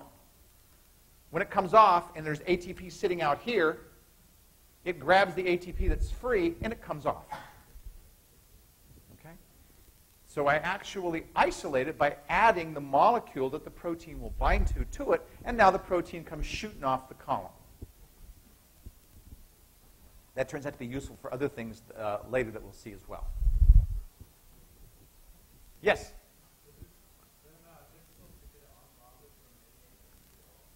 Is it difficult to get it uh, free of any ATP? Well, it's a little bit more involved, but it's not impossible to do. It's definitely possible to do. So that's, that's not a, a big problem. Okay. Now, I want to jump down and talk about, I'm going to come back and talk about HPLC next time, but this time I want to talk about gel electrophoresis. How many people in here have done gel electrophoresis? Whoa, virtually everybody's done gel electrophoresis. Okay, so it means I don't have to cover this then, right? No. Okay, so polyacrylamide gel electrophoresis is one type of gel electrophoresis, and it's the less common of the two. If you've worked in a DNA lab, you've probably done agarose gel electrophoresis. How many people know the difference between those two? Okay, okay. So I'm going to show you an example of agarose to start with, because agarose gel electrophoresis, that's actually uh, polyacrylamide gel electrophoresis, that is too. Um, well, this could be, okay, this could be agarose as well. All right, so agarose, the difference between the two is really the material that makes the gel. Okay? A gel is, as its name suggests, gelatinous, and it is what we call a support. It's a solid, and it is covered with a buffer solution. You can see the buffer solution up here on the top, and you can see the same buffer solution down here on the bottom. And this buffer, and, and this gel itself I like to think of as having tunnels of its own. These tunnels of its own are much bigger than the tunnels we saw in those little beads. Okay? In the case of agarose gel electrophoresis, the tunnels are quite large, and the reason they're quite large is because DNA is enormous. DNA is much bigger than protein.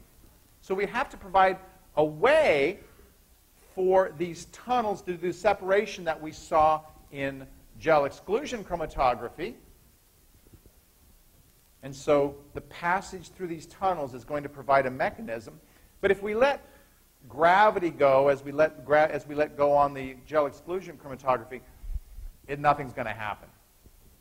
We actually have to force the DNA molecules into this gel. The force that we use is an electrical field. And this works really well with DNA because DNA is negatively charged. It has, it's full of phosphates. I set it up so that the top, where I, I actually pour my DNA samples into these little things called wells, the top is where I apply the negative electrode, and the bottom is where I apply the positive. Well, DNA is negatively charged. It wants to get away from the electrode. It enters the gel, and it starts moving through it, driven by the electrical field. Okay? It's driven by the electrical field. Now we've got a force that's pushing that DNA molecule through, and the only difference then with which the DNA molecules go through is how big they are. The bigger they are, they have more phosphates, so they have more force. The smaller they are, the fewer the phosphates they have, the less force, and the only difference is their size, because they each have the same amount of force per size. That means that the smallest DNA molecules will go fastest because they navigate their way through the pores much better. And by the way, these aren't tunnels where they're going to see which one goes uh, the longer path. This is which, how fast they can make it directly down through the pores. So in gel electrophoresis, the smallest guys go first, the largest guys have the most difficult time, and they go last. So we can see here, and this is shown for proteins, but we can see here, there's the slowest moving ones, there's the mom and dad, and the kids are way down here. Everybody with me? Everybody getting tired? Are we ready for a song? Okay. Some of this song I'm going to sing may. uh, By the way, this, this song today is the first time I've ever sung this song to a class. So it's a relatively new song, and it may cover some things that I'll finish talking about on Monday. It's to the tune of an old Beatles song called I've Just Seen a Face. Anybody know the song? Am I the only? I've Just Seen a Face? Okay. It's called, all right, where am I at here? Please sing with me. I've just run a gel. I've just run a gel. I do not think it went too well. I may have used a bit much SDS. The stacker's looking like a mess, it's true. Oh, now what will I do? The protein sample's my last one to purify. It was not fun. I spent three weekends working late. The middle lanes aren't looking great. I'm screwed. Good God, what will I do? Crawling, I'm almost bawling. The boss is calling to follow through. I can't, my, off the tune. I just loaded all I've got to make this final western blot. My fingers are both crossed for sure. I hope my protein product's pure, I do. Then my thesis is through. Hating all of the waiting, I'm contemplating what I should do. Staining, my eyes are straining, there's no complaining. I say wahoo, cause it has the band I need. I'll go and have it scanned to speed the writing of my thesis and proceed on to the postdoctoral plan. Oh, that will be so grand. Pieces make up my thesis, no more for Reese's, the promised land.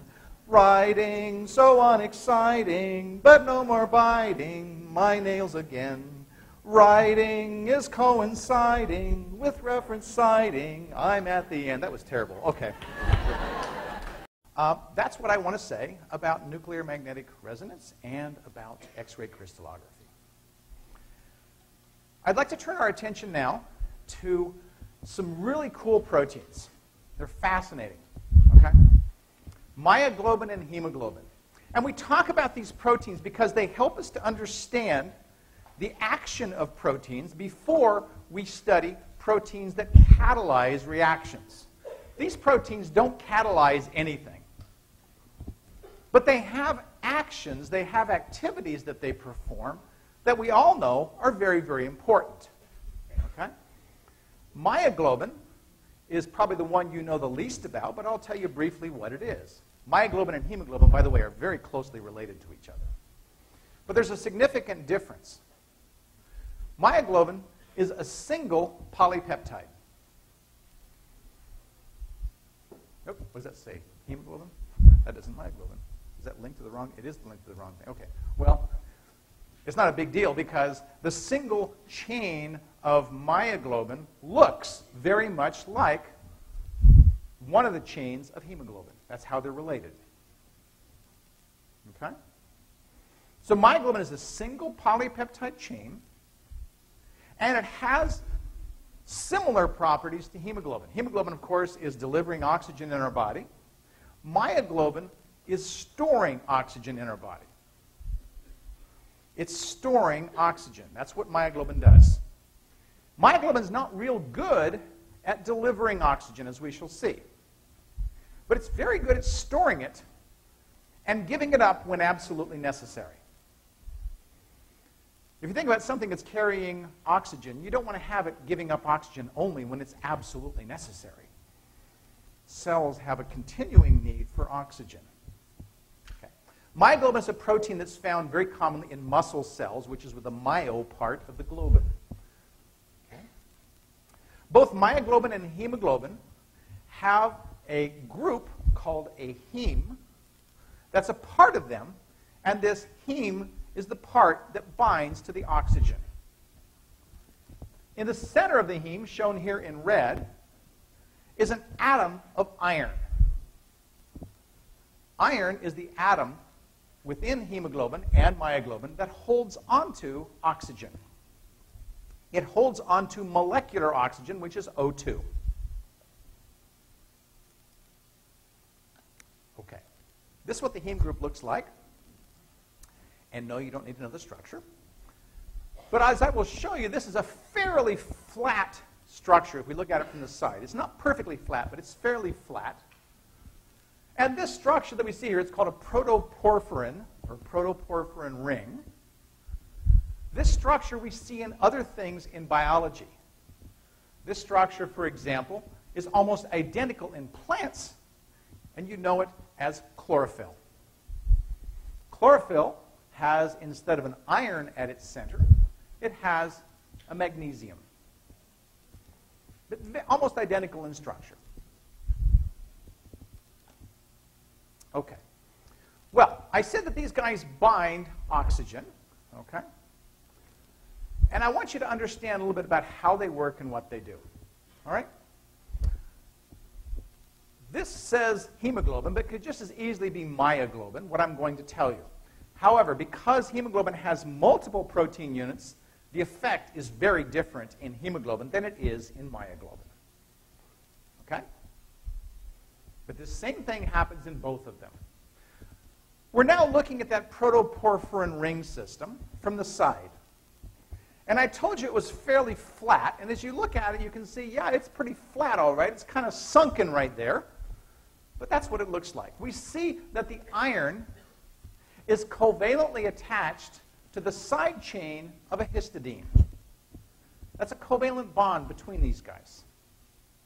That's what's holding the iron in place. This histidine, of course, is part of the polypeptide chain that's in this protein. So this histidine is attached to another amino acid, to another amino acid, to another amino acid, ultimately the entire polypeptide chain.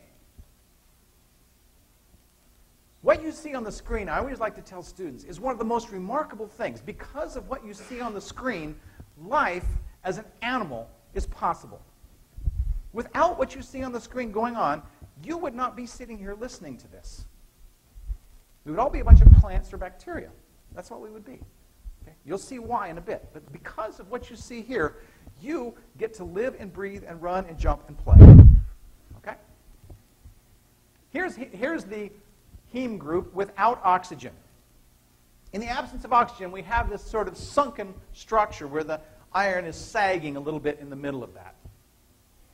When oxygen binds to the iron, a very, very tiny structural change occurs where the iron is lifted up. You see that it's a very tiny distance, 0.4 angstroms, very, very minor change, but this minor change allows you to be an animal. How? Well, what's happening is the iron gets lifted up, and when the iron gets lifted up, the iron is attached to the histidine. The histidine gets lifted up, and since the histidine is attached to another amino acid, we can imagine a whole chain of events of very, very, very tiny changes occurring. So, as a consequence of binding oxygen, this protein has assumed, this polypeptide chain has assumed a slightly different shape. Everybody with me? In myoglobin, this change in shape has no effect whatsoever. And that's because myoglobin only has one polypeptide chain. In hemoglobin, this chain, this change allows you to be doing what you do. Okay? How does that happen? Well, let's imagine, let's, let's first of all look at the structure of hemoglobin. Okay? So, what does hemoglobin look like? Hemoglobin has four polypeptide chains, two alpha subunits, and two, and, I'm sorry, two alpha subunits in pink and red, and two beta subunits in yellow. The two alphas are identical, the two betas are identical. Okay? The alphas are very similar in structure to the betas, and they're also very similar in structure to the myoglobin. When hemoglobin is passing through your lungs, it has already delivered all of its oxygen to the body, and it's coming to the lungs empty. It has no oxygen in it. And something that's going to surprise you is that this when the hemoglobin gets to the lungs, it's in a state that it does not want to bind oxygen. We'll talk about that in a minute. It's called the T state. It does not want to bind oxygen. Okay? But the oxygen concentration in the lungs is very high. Because the oxygen concentration in the lungs is very high, even though it doesn't really want to bind it, one of the subunits goes, okay, and grabs it. And so what happens is what I just described to you. One of those heme groups binds ox- one of those one of those irons binds oxygen, and one of those subunits very, very slightly changes its structure. The other three are still sitting there, okay? They don't have oxygen. The one that's changed its structure has now changed very slightly its interactions with the other subunits of that protein. What happens is because those interactions change, the subunits themselves also slightly change. And they go from not wanting to bind oxygen to wanting to bind oxygen. They've changed their state. They've gone from what we call the T state, which is not wanting to bind, to R state, where they do want to bind. Well, guess what? They want to bind, they start binding oxygen. And this turns out to be really critical because hemoglobin is going through your lungs pretty quickly. And if it doesn't grab oxygen on its pass through the lungs, it's going to get out into, into the system without any oxygen, and you're going to be in trouble. Animals have widely varying needs for oxygen. As we will see, oxygen is necessary for the maximal production of energy. Animals have muscles that need rapid energy. They go chase things. Plants don't have that need. Plants have a constant need for oxygen. They don't have to grab it and hang on to it as quickly as they can as they're passing through lungs, because, first of all, plants don't have lungs. But they also don't need it because they're not running and jumping and playing. We're escaping predators or chasing prey. That slight change that you saw allows this hemoglobin to load up with oxygen. What I just described to you is a phenomenon that we call cooperativity. And as we will see, this phenomenon is related to an enzymatic activity we'll talk about later, although this is not an enzymatic activity. I'm going to define cooperativity for you. Cooperativity occurs when the binding of one molecule by a protein favors the additional bindings of the same molecules by the same protein. The binding of one molecule by a protein favors the binding of additional molecule, additional same molecules by the same protein. Loading of one changed the shape of hemoglobin from the T state to the R state, and the R state, it says, let's have all we can get. Okay. That's very cool. There's the way in which it actually binds. Okay? Iron in the hemoglobin is in the plus 2 state. It shares electrons, is in resonance with this structure that we see here.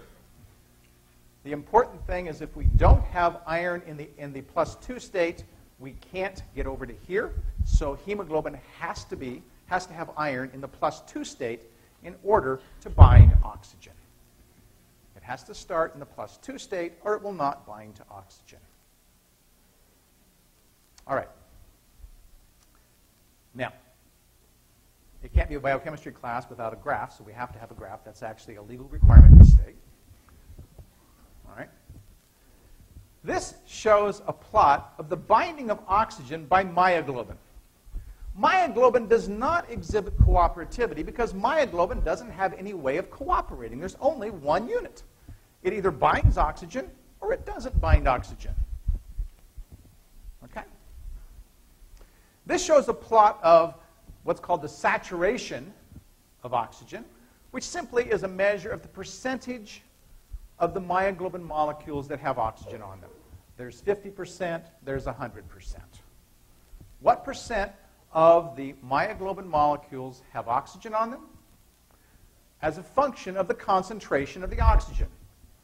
Well, when we look at this, we see that the higher the oxygen concentration, the rapid increase in the binding of oxygen by myoglobin.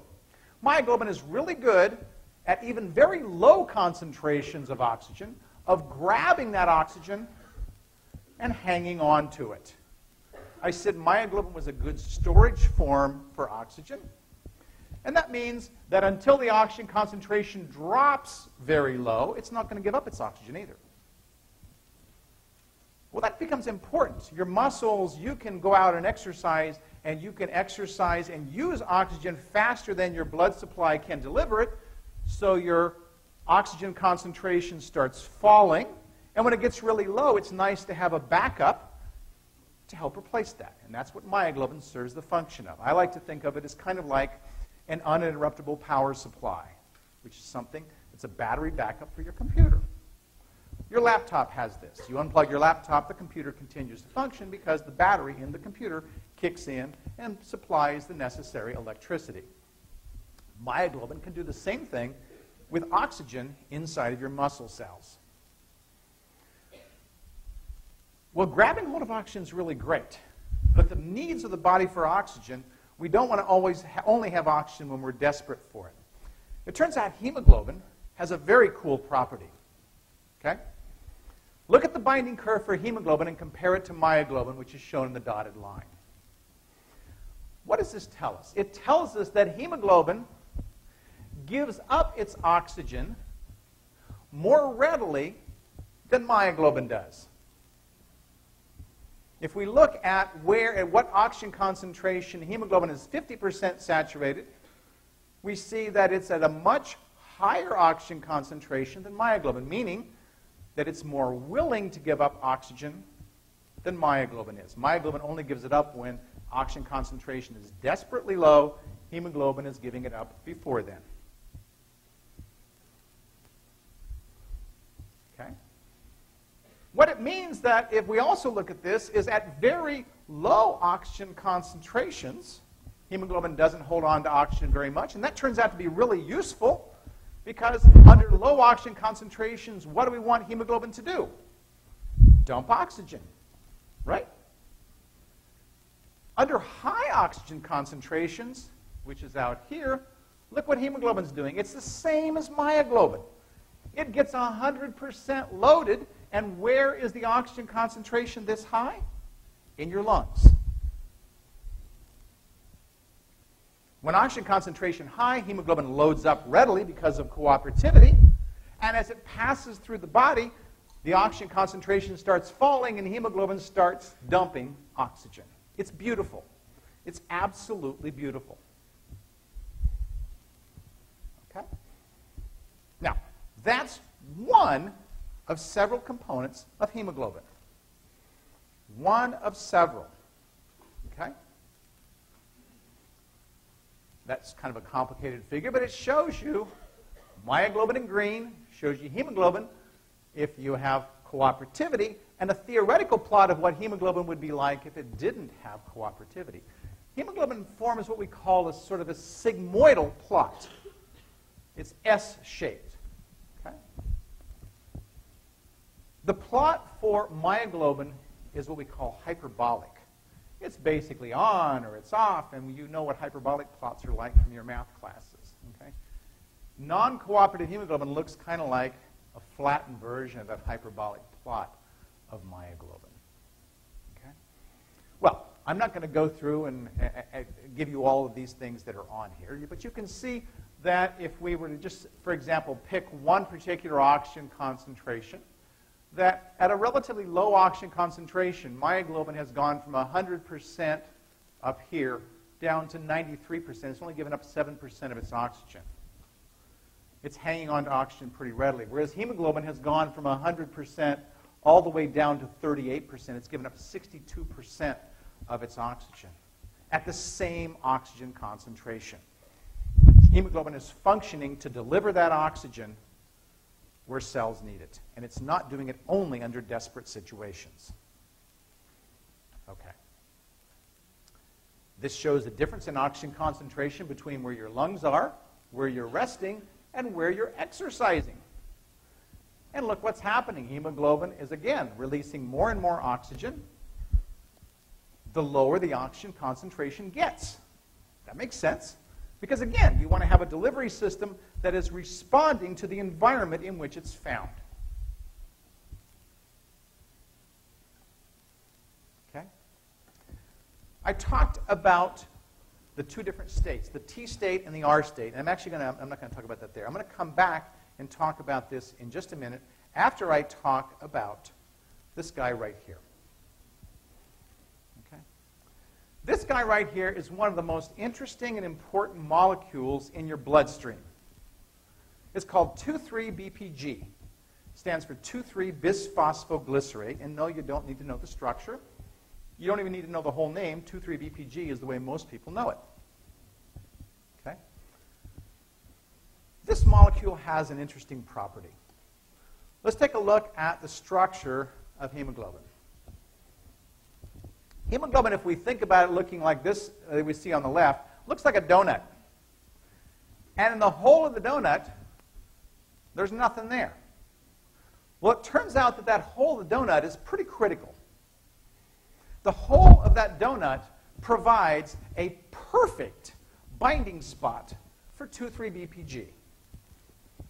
2,3-BPG fits in there like a hand in a glove. It's really beautiful, it's really wonderful. And when 2,3-BPG gets in there, it converts hemoglobin from the R state to the T state. What did I say was characteristic of the T state with respect to binding of oxygen? Low binding.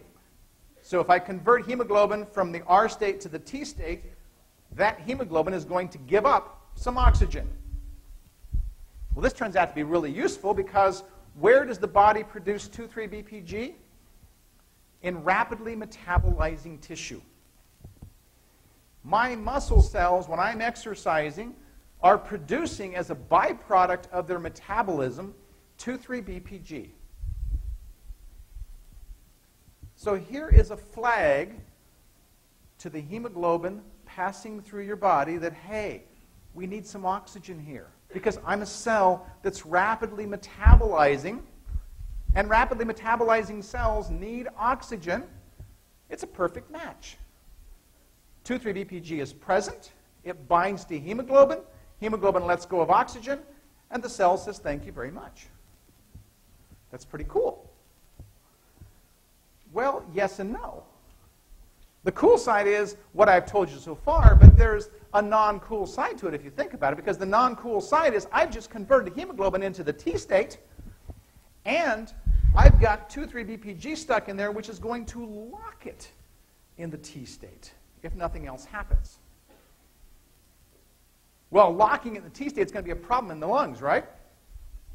If I lock it in the T state in the lungs, that hemoglobin is not going to bind very much oxygen.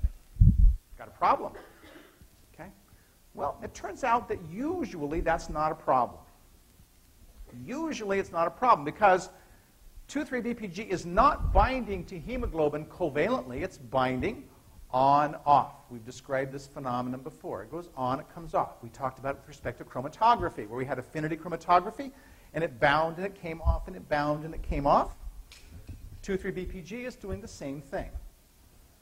Well, it turns out 2,3-BPG is actually something that cells can use for energy. Hemoglobin binds 2,3-BPG in the rapidly metabolizing cells. On its way back to the lungs, it lets go, it comes back, it lets go, and sometimes when it lets go, the cell says, ooh, yummy, dinner.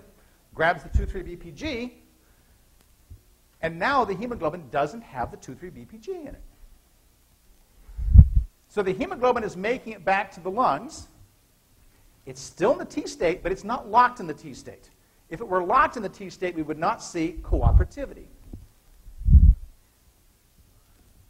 We would not see cooperativity. Okay? That is really great. It's beautiful. Okay?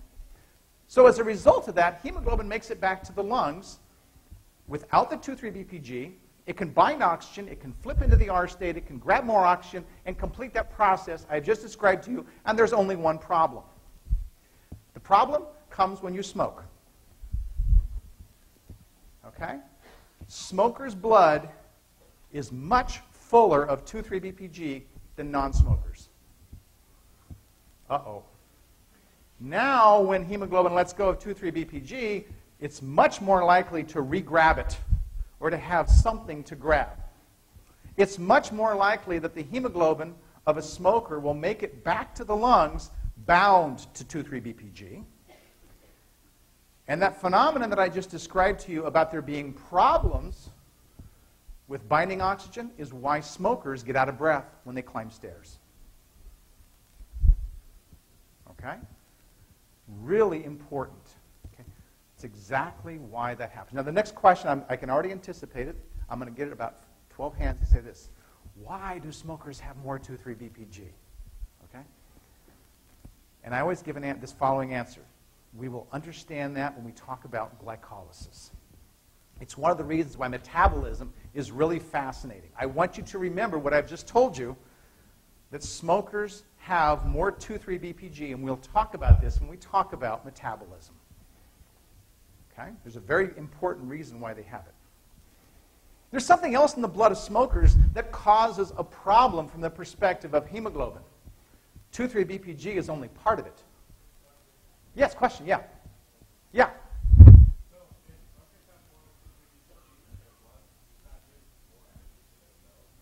If, cell, if smokers have more 2,3-BPG in their blood, does that give more energy to cells? The 2,3-BPG is a relatively small amount of energy compared to the energy that would be realized if oxygen were present. So the compromise that cells have is that it's way on the downside. I'll give you an, I'll give you an idea of that, okay? When cells have oxygen and you give them a molecule of glucose, okay? When they have oxygen, they can make 38 ATPs from that glucose. When cells don't have oxygen, and you give them a molecule of glucose, they can make two ATPs. Big difference. So 2,3-BPG gives them a little bit. They might get one more ATP out of it, but they're not going to make up that difference as a result. Does that make sense? Okay? All right. So 2,3-BPG causes problems. I said there's another problem with smoking that really fouls up this system. What else is in the smoke of a, of a cigarette smoker? What do people? What do smokers breathe in? What's that? Carbon monoxide. Somebody said it right here. Of course, tar and nicotine. Yes, of course, we, those are, are, are bad. But from a perspective of hemoglobin, carbon monoxide is present in cigarette smoke reasonably abundantly. Carbon monoxide at the molecular level looks essentially the same as O2 carbon monoxide will compete with oxygen for binding to heme. It's one of the reasons carbon monoxide is poisonous. It's, it's poisonous partly because carbon monoxide reduces the oxygen carrying capacity of hemoglobin. Carbon monoxide turns out to kill you two ways. I'll tell you the other one later. That'll, that'll actually happen next term. All right? It kills you two ways. Okay. Um, 2,3-BPG, what does it do? Okay. 2,3-BPG favors the release of oxygen. That's what I've already told you. It favors the release of oxygen. And when everything's working great, that's wonderful because you want that flag to say, let go of oxygen. Now, hemoglobin is a remarkable molecule, and I'm, I'm not going to be able to finish it today, but I will finish it next time. And no, I'm not finishing the lecture yet. Don't worry about it. Don't, don't think about that. Okay? When um, we think about hemoglobin, it's delivering oxygen to cells. And when cells have oxygen, what do they produce? Well, if they're rapidly metabolizing, they produce a fair amount of carbon dioxide. Notice carbon dioxide is not carbon monoxide. Carbon dioxide at the molecular level does not look like carbon monoxide. Carbon dioxide does not compete with binding to heme. All right? But carbon dioxide does bind to hemoglobin. This is really cool also, because if we think about it, hemoglobin is providing the oxygen necessary for cells to do their thing. When cells do their thing, they're producing a waste product called carbon dioxide that is, by the way, somewhat poisonous. And so this carbon, the, the heme grabs a hold of that carbon dioxide and carries it back to the lungs where it lets go of it and you exhale it. Okay?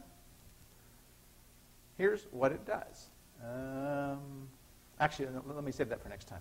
I'm leading up to one quick thing, and then we're going to do a song. Okay? The quick thing actually relates to what I've talked about here, but there's one more thing you need to know to understand the quick thing. It's something called the Bohr effect. B O H R. I've told you that hemoglobin can bind to oxygen cooperatively. It can dump oxygen where it's needed. It can read the signal of a 2,3-BPG and say more oxygen is needed here. And there's yet another signal that hemoglobin can read to dump even more oxygen. The signal is a proton. Okay? Rapidly metabolizing cells, in addition to producing 2,3-BPG, produce protons. The environment around rapidly, produce, rapidly metabolizing cells is relatively acidic. There are more protons there than there are around cells that are not rapidly metabolizing. Okay? The normal pH of blood is about 7.4. This shows the oxygen binding capacity of hemoglobin in normal blood concentrations and in an acidic environment. What happens in the acidic environment? You'll see that the binding affinity goes down, more oxygen is released, meaning that hemoglobin can recognize that environment and let go of more oxygen. I told you hemoglobin did a lot of stuff. I'm not even telling you about all of it today. There's more that'll come next time. Okay? In the acidic environment, hemoglobin releases oxygen. That's what this graph is telling you. This is known as the Bohr effect, and the Bohr effect incorporates the carbon dioxide and the pH that I described to you. Oops, sorry. Actually, that's not it. It's shown right here. Let's look at this. All right, we have three things plotted. First, we have hemoglobin from blood at pH 7.4 with no carbon dioxide. If we add er, protons to reduce the, the pH, we see release of oxygen. If we reduce the pH and we add carbon dioxide, we see even more release, confirming graphically what I told you earlier. Protons and carbon dioxide favor the release of oxygen by hemoglobin. And both of these are signals that rapid metabolism is going on. Carbon dioxide also tells hemoglobin where to dump stuff. Protons, carbon dioxide, 2,3-BPG. It's time for a song to summarize all this, and I think you'll like this one. This one's fun. It's called Hemoglobin's Moving Around. Oh, isn't it great what proteins can do, especially ones that bind to O2? Hemoglobin's moving around. I can't hear you. Inside of the lungs, it picks up the bait and changes itself from T to R state. Hemoglobin's moving around. The protoporphyrin system, its iron makes such a scene, arising when an O2 binds, pulling up on histidine. The binding occurs cooperatively thanks to changes quaternary. Hemoglobin's moving around. It exits the lungs, engorged with O2, in search of a working body tissue. Hemoglobin's moving around. The proton concentration is high and has a role. Between the alpha betas, it finds imidazole to empty their loads. The globins decree we need to bind to 3-DPG. Hemoglobin's moving around. The stage is thus set for grabbing a few cellular dumps of CO2. Hemoglobin's moving around. And then inside the lungs it discovers oxygen and dumps the CO2 off to start all over again. So, see how this works? You better expect to have to describe the Bohr effect. Hemoglobin's moving around. All right. Because I've got two songs on the same subject, and I thought that was more relevant as we had just finished the, the, the hemoglobin. So, we're finishing hemoglobin. We're not quite done yet. So, um, hemoglobin is, of course, the first topic of the day to get finished, and then we're going to start talking about enzymes. Um, by the way, with respect to exam, I will announce where the material will stop. I haven't decided where that will be yet, but I will announce where it will stop. Uh, and so you'll know uh, all of that. Okay. Well, last time we covered a lot of material. A couple students pointed out that, wow, you didn't really slow down for questions last time. You seemed like you were on a roll. Okay? And I do like to stop and uh, take questions, so I will uh, perhaps go a little slower today uh, in terms of getting uh, things together for you. Last time you remember we talked when I talked about hemoglobin, I told you the many, some of the many things that it does, and as I said when I finished, I'm not even through yet talking about all the incredible things that hemoglobin uh, does. So the Bohr effect um, is one that you probably gathered was uh, pretty important. I've talked to a couple of students studying for the MCAT, and they said, oh, it always pops up on the MCAT. I said, well, you know, the Bohr effect is kind of an important concept uh, with respect to what's going on in the body. So understanding the Bohr effect is a, is a pretty cool thing. Um, one of the things that, one of the questions that I had from students who came and asked me about the Bohr effect was, well, how does it work? Now, if you recall, I told you several things that we sort of lump together and talk about the Bohr effect. The first was that when hemoglobin is um, in the presence of um, a lower pH compared to uh, a typical blood pH, so let's say 7.2 versus 7.4, at that 7.2 pH, what it will do is it will release more oxygen than it would if it were at 7.4. So the lower pH will favor the release of oxygen. I also told you that hemoglobin in the presence of carbon dioxide will bind to carbon dioxide, and that too will facilitate the release of oxygen. Well, it turns out that both protons, that is the lower pH, protons and carbon dioxide are products of rapid metabolism. Products of rapid metabolism. So here are some more signals that this cell is making a lot of something. So we've actually got three signals we've talked about so far. One was 2,3-BPG, made by actively metabolizing cells, protons made by actively metabolizing cells, and carbon dioxide, all three of which now signal to hemoglobin to let go of oxygen. I told you how 2,3-BPG did that.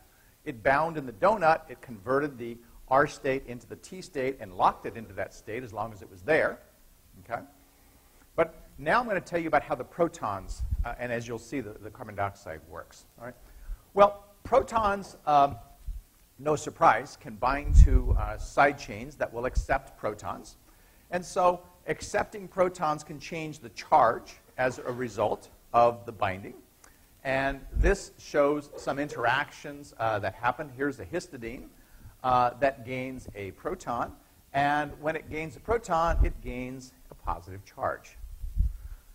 Well, if it was originally charged zero, which is what it would be before the proton was there, there isn't an attraction between it and this nearby aspartic acid.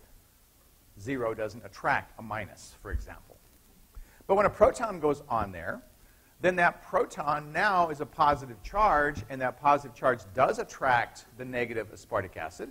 And so we can imagine that there's now a force pulling these things together, and we could imagine that there's a slight change in shape that occurs in the enzyme, and this slight change in, sh- not in the enzyme, in the protein, this slight change in shape changes the, the way that hemoglobin holds on to oxygen, and that's exactly what happens. So this phenomenon that's going on here, the binding of the proton by the histidine, changes the shape of the enzyme and favors the release of oxygen. So here's a very simple cause effect that's going on with respect to um, the um, uh, release of oxygen in hemoglobin. Okay? Um, another thing that can happen is shown on the screen. And this shows an amine with a proton on it. And this amine with this proton on it can bind to carbon dioxide and release the proton, forming a carbamate. And what have we done with respect to charge? We've changed the charge again. Changing the charge can have effects on shape. Effects on shape can affect, of course, the binding of oxygen. And this, too, favors the release of oxygen by hemoglobin. So now we see some very specific structural things that can happen to the hemoglobin molecule and favor the release of oxygen. So all these things come together to mean that hemoglobin is delivering oxygen to the tissues that need it via structural mechanisms. Now, these very tiny changes, and I am going to emphasize the tininess of these changes, these very tiny changes in shape will carry through when we talk about enzymes we see that very, very tiny structural changes can have enormous consequences for how enzymes catalyze reactions, if enzymes catalyze reactions, what substrates that enzymes recognize and bind to. We see a variety of things. And all of these differences that are happening in enzymes and also in hemoglobin are happening because of very, very tiny structural changes. Now, I told you there's more things about hemoglobin that I haven't talked about, so today I want to finish up talking about some of these. One of them that's very popular, especially among pre-med students, um, is fetal hemoglobin. Turns out fetuses have a slightly different version of hemoglobin than adults do, and that's important. Okay? Imagine you're a fetus, and if you are a fetus, your only source of oxygen is mom. And if the fetus has the same oxygen as, uh, I'm sorry, the same hemoglobin as mom, the fetus is really at a disadvantage because it's not very favorable for one hemoglobin to take the oxygen off of another hemoglobin that's just like it. So if the fetus had the same hemoglobin as mom, then we would expect the fetus would be fairly oxygen deprived. Well, it turns out that fetuses have, as I said, a slightly different uh, type of hemoglobin than mom does. And the slightly different type that they have involves a hemoglobin that has what we call alpha 2 gamma 2. Okay, the adult hemoglobin was alpha 2 beta 2, meaning it had two alpha subunits and two beta subunits. In the fetus, the beta subunits are replaced by gamma subunits. Now, the gamma subunits are very, very much like the beta subunits. We see all these oxygen binding proteins. They all have very similar structures, like we talked about myoglobin, for example. All right? But this difference of the gamma subunits are such that that donut hole that we talked about for the alpha 2 beta 2 adult unit, that, that hole is still there in the um, fetal hemoglobin, but it's not big enough to let 2,3-BPG bind. Okay? 2,3-BPG can't bind to the fetal hemoglobin. What did 2,3-BPG do in the adult hemoglobin? It favored the T state, which was favoring the release of oxygen, right? The fetal hemoglobin does not have that 2,3-BPG. The fetal hemoglobin, in addition, has a greater tendency to hold on to, to, hold on to oxygen. Now, what that means is that the fetal hemoglobin has a greater affinity for oxygen than mom's hemoglobin has, and the fetal hemoglobin can actually take oxygen away from mom, or from mom's hemoglobin. Okay? As a result of this, the fetus gets sufficient oxygen in order to do its thing. Graphically, we can see uh, it here. All right? As we move to the left on these curves, what we see is a greater binding affinity. So remember that myoglobin was way over here on the left. We see fetal hemoglobin on the left uh, of the uh, mom's hemoglobin uh, line, meaning that the fetal hemoglobin has a greater affinity for the oxygen than does mom's. Now, that's really good for taking it away from mom, but what about the fetal needs for delivering oxygen? If the fetus can't bind 2,3-BPG, a common question I get is, isn't that going to be a problem for the fetus? And it turns out it's not. And the reason it's not is mom has 2,3-BPG and we have 2,3-BPG as a signal of rapid metabolism. And that's because we have widely varying exercising that we do.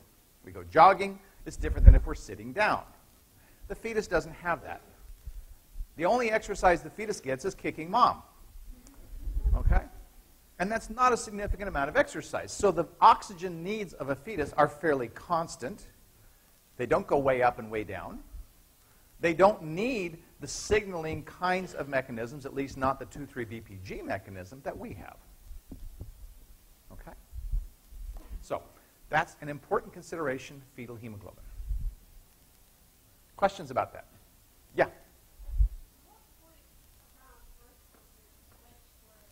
So uh, it switches typically in the first couple of years. So it'll, it'll switch during that time. That was your question. So yeah, it's a common question. What, at what point does the um, uh, fetus start making adult hemoglobin? It's typically in the first year or two after birth. So there'll be a transition time. Whoa, a transition time uh, in going from uh, one um, the fetal hemoglobin to the adult. Yeah.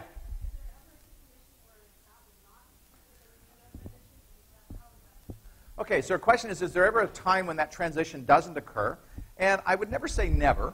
Uh, so there may be some places where that's a problem. But I want to show you uh, an example of where, in some cases, people have used or induced the synthesis of fetal hemoglobin to treat a disease. So I'll, I'll, I'll come back to that. But that's where we're inducing it with a drug. Okay? Now, remember that we have DNA that codes for all of these things. So we have DNA that codes for the, the, the, alpha subunits, the beta subunits, the gamma subunits. We also have other rarer forms. There's a delta subunit that is sometimes made, uh, and so forth. And we're not going to talk about that. All of these genes are called globins alpha globin, beta globin, gamma globin. Okay? And gamma globin is not gamma globulin, by the way, so gamma globin. All, right?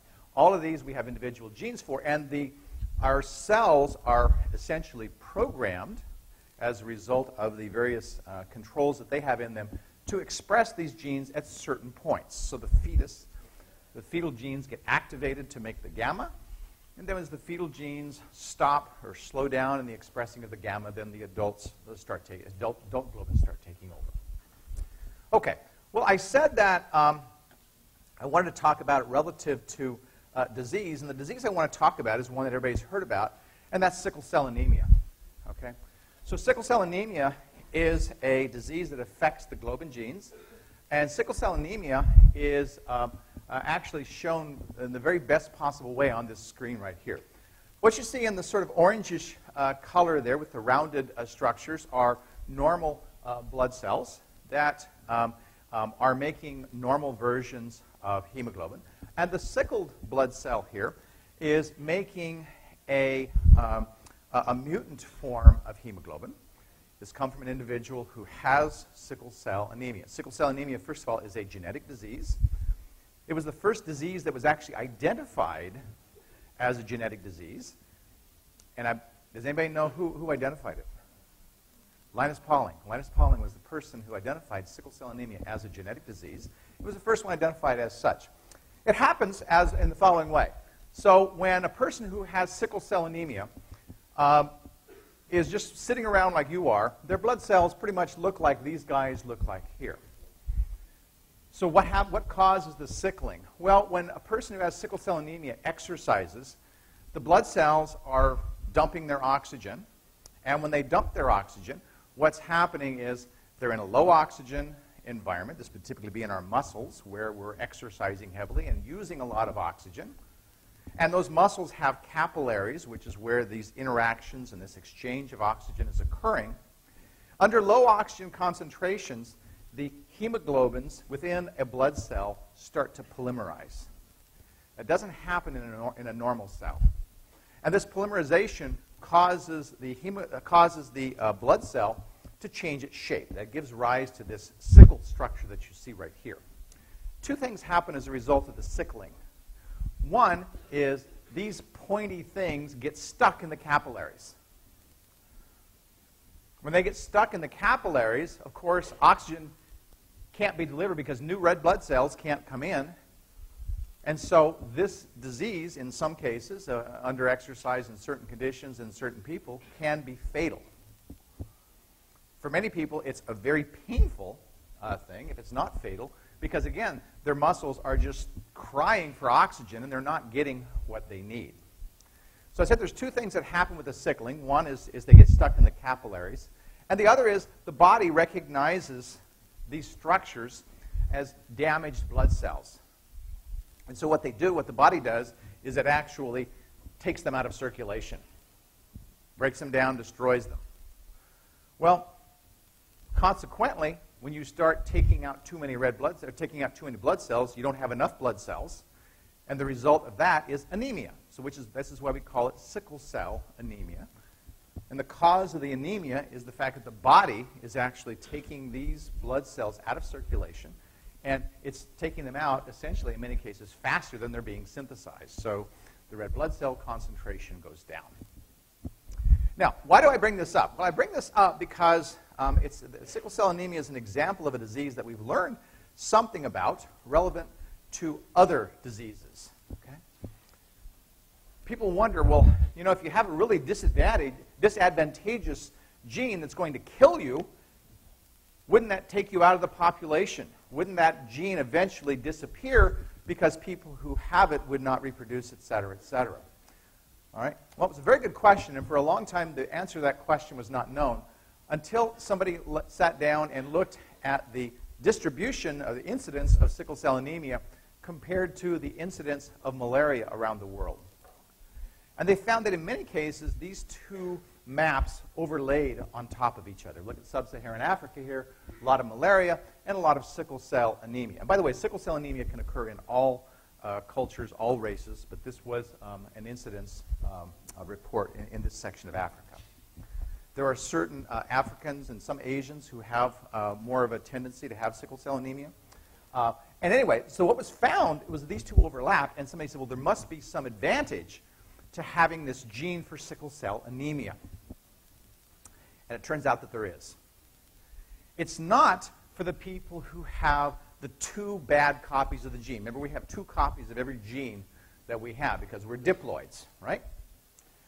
For people who are heterozygous, they have one bad copy, one good copy, it appears that youth who have this heterozygous condition survive malaria better than those who are either homozygous for the normal gene or homozygous for the, the uh, uh, mutant gene.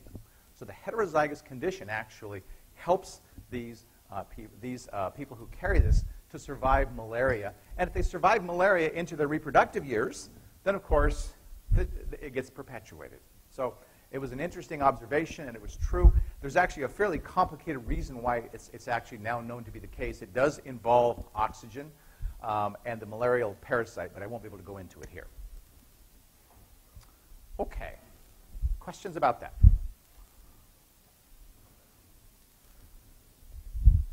Okay.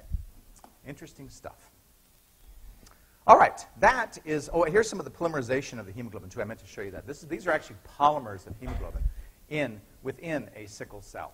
So you can actually see those long chains uh, of polymers that arise because of the mutation.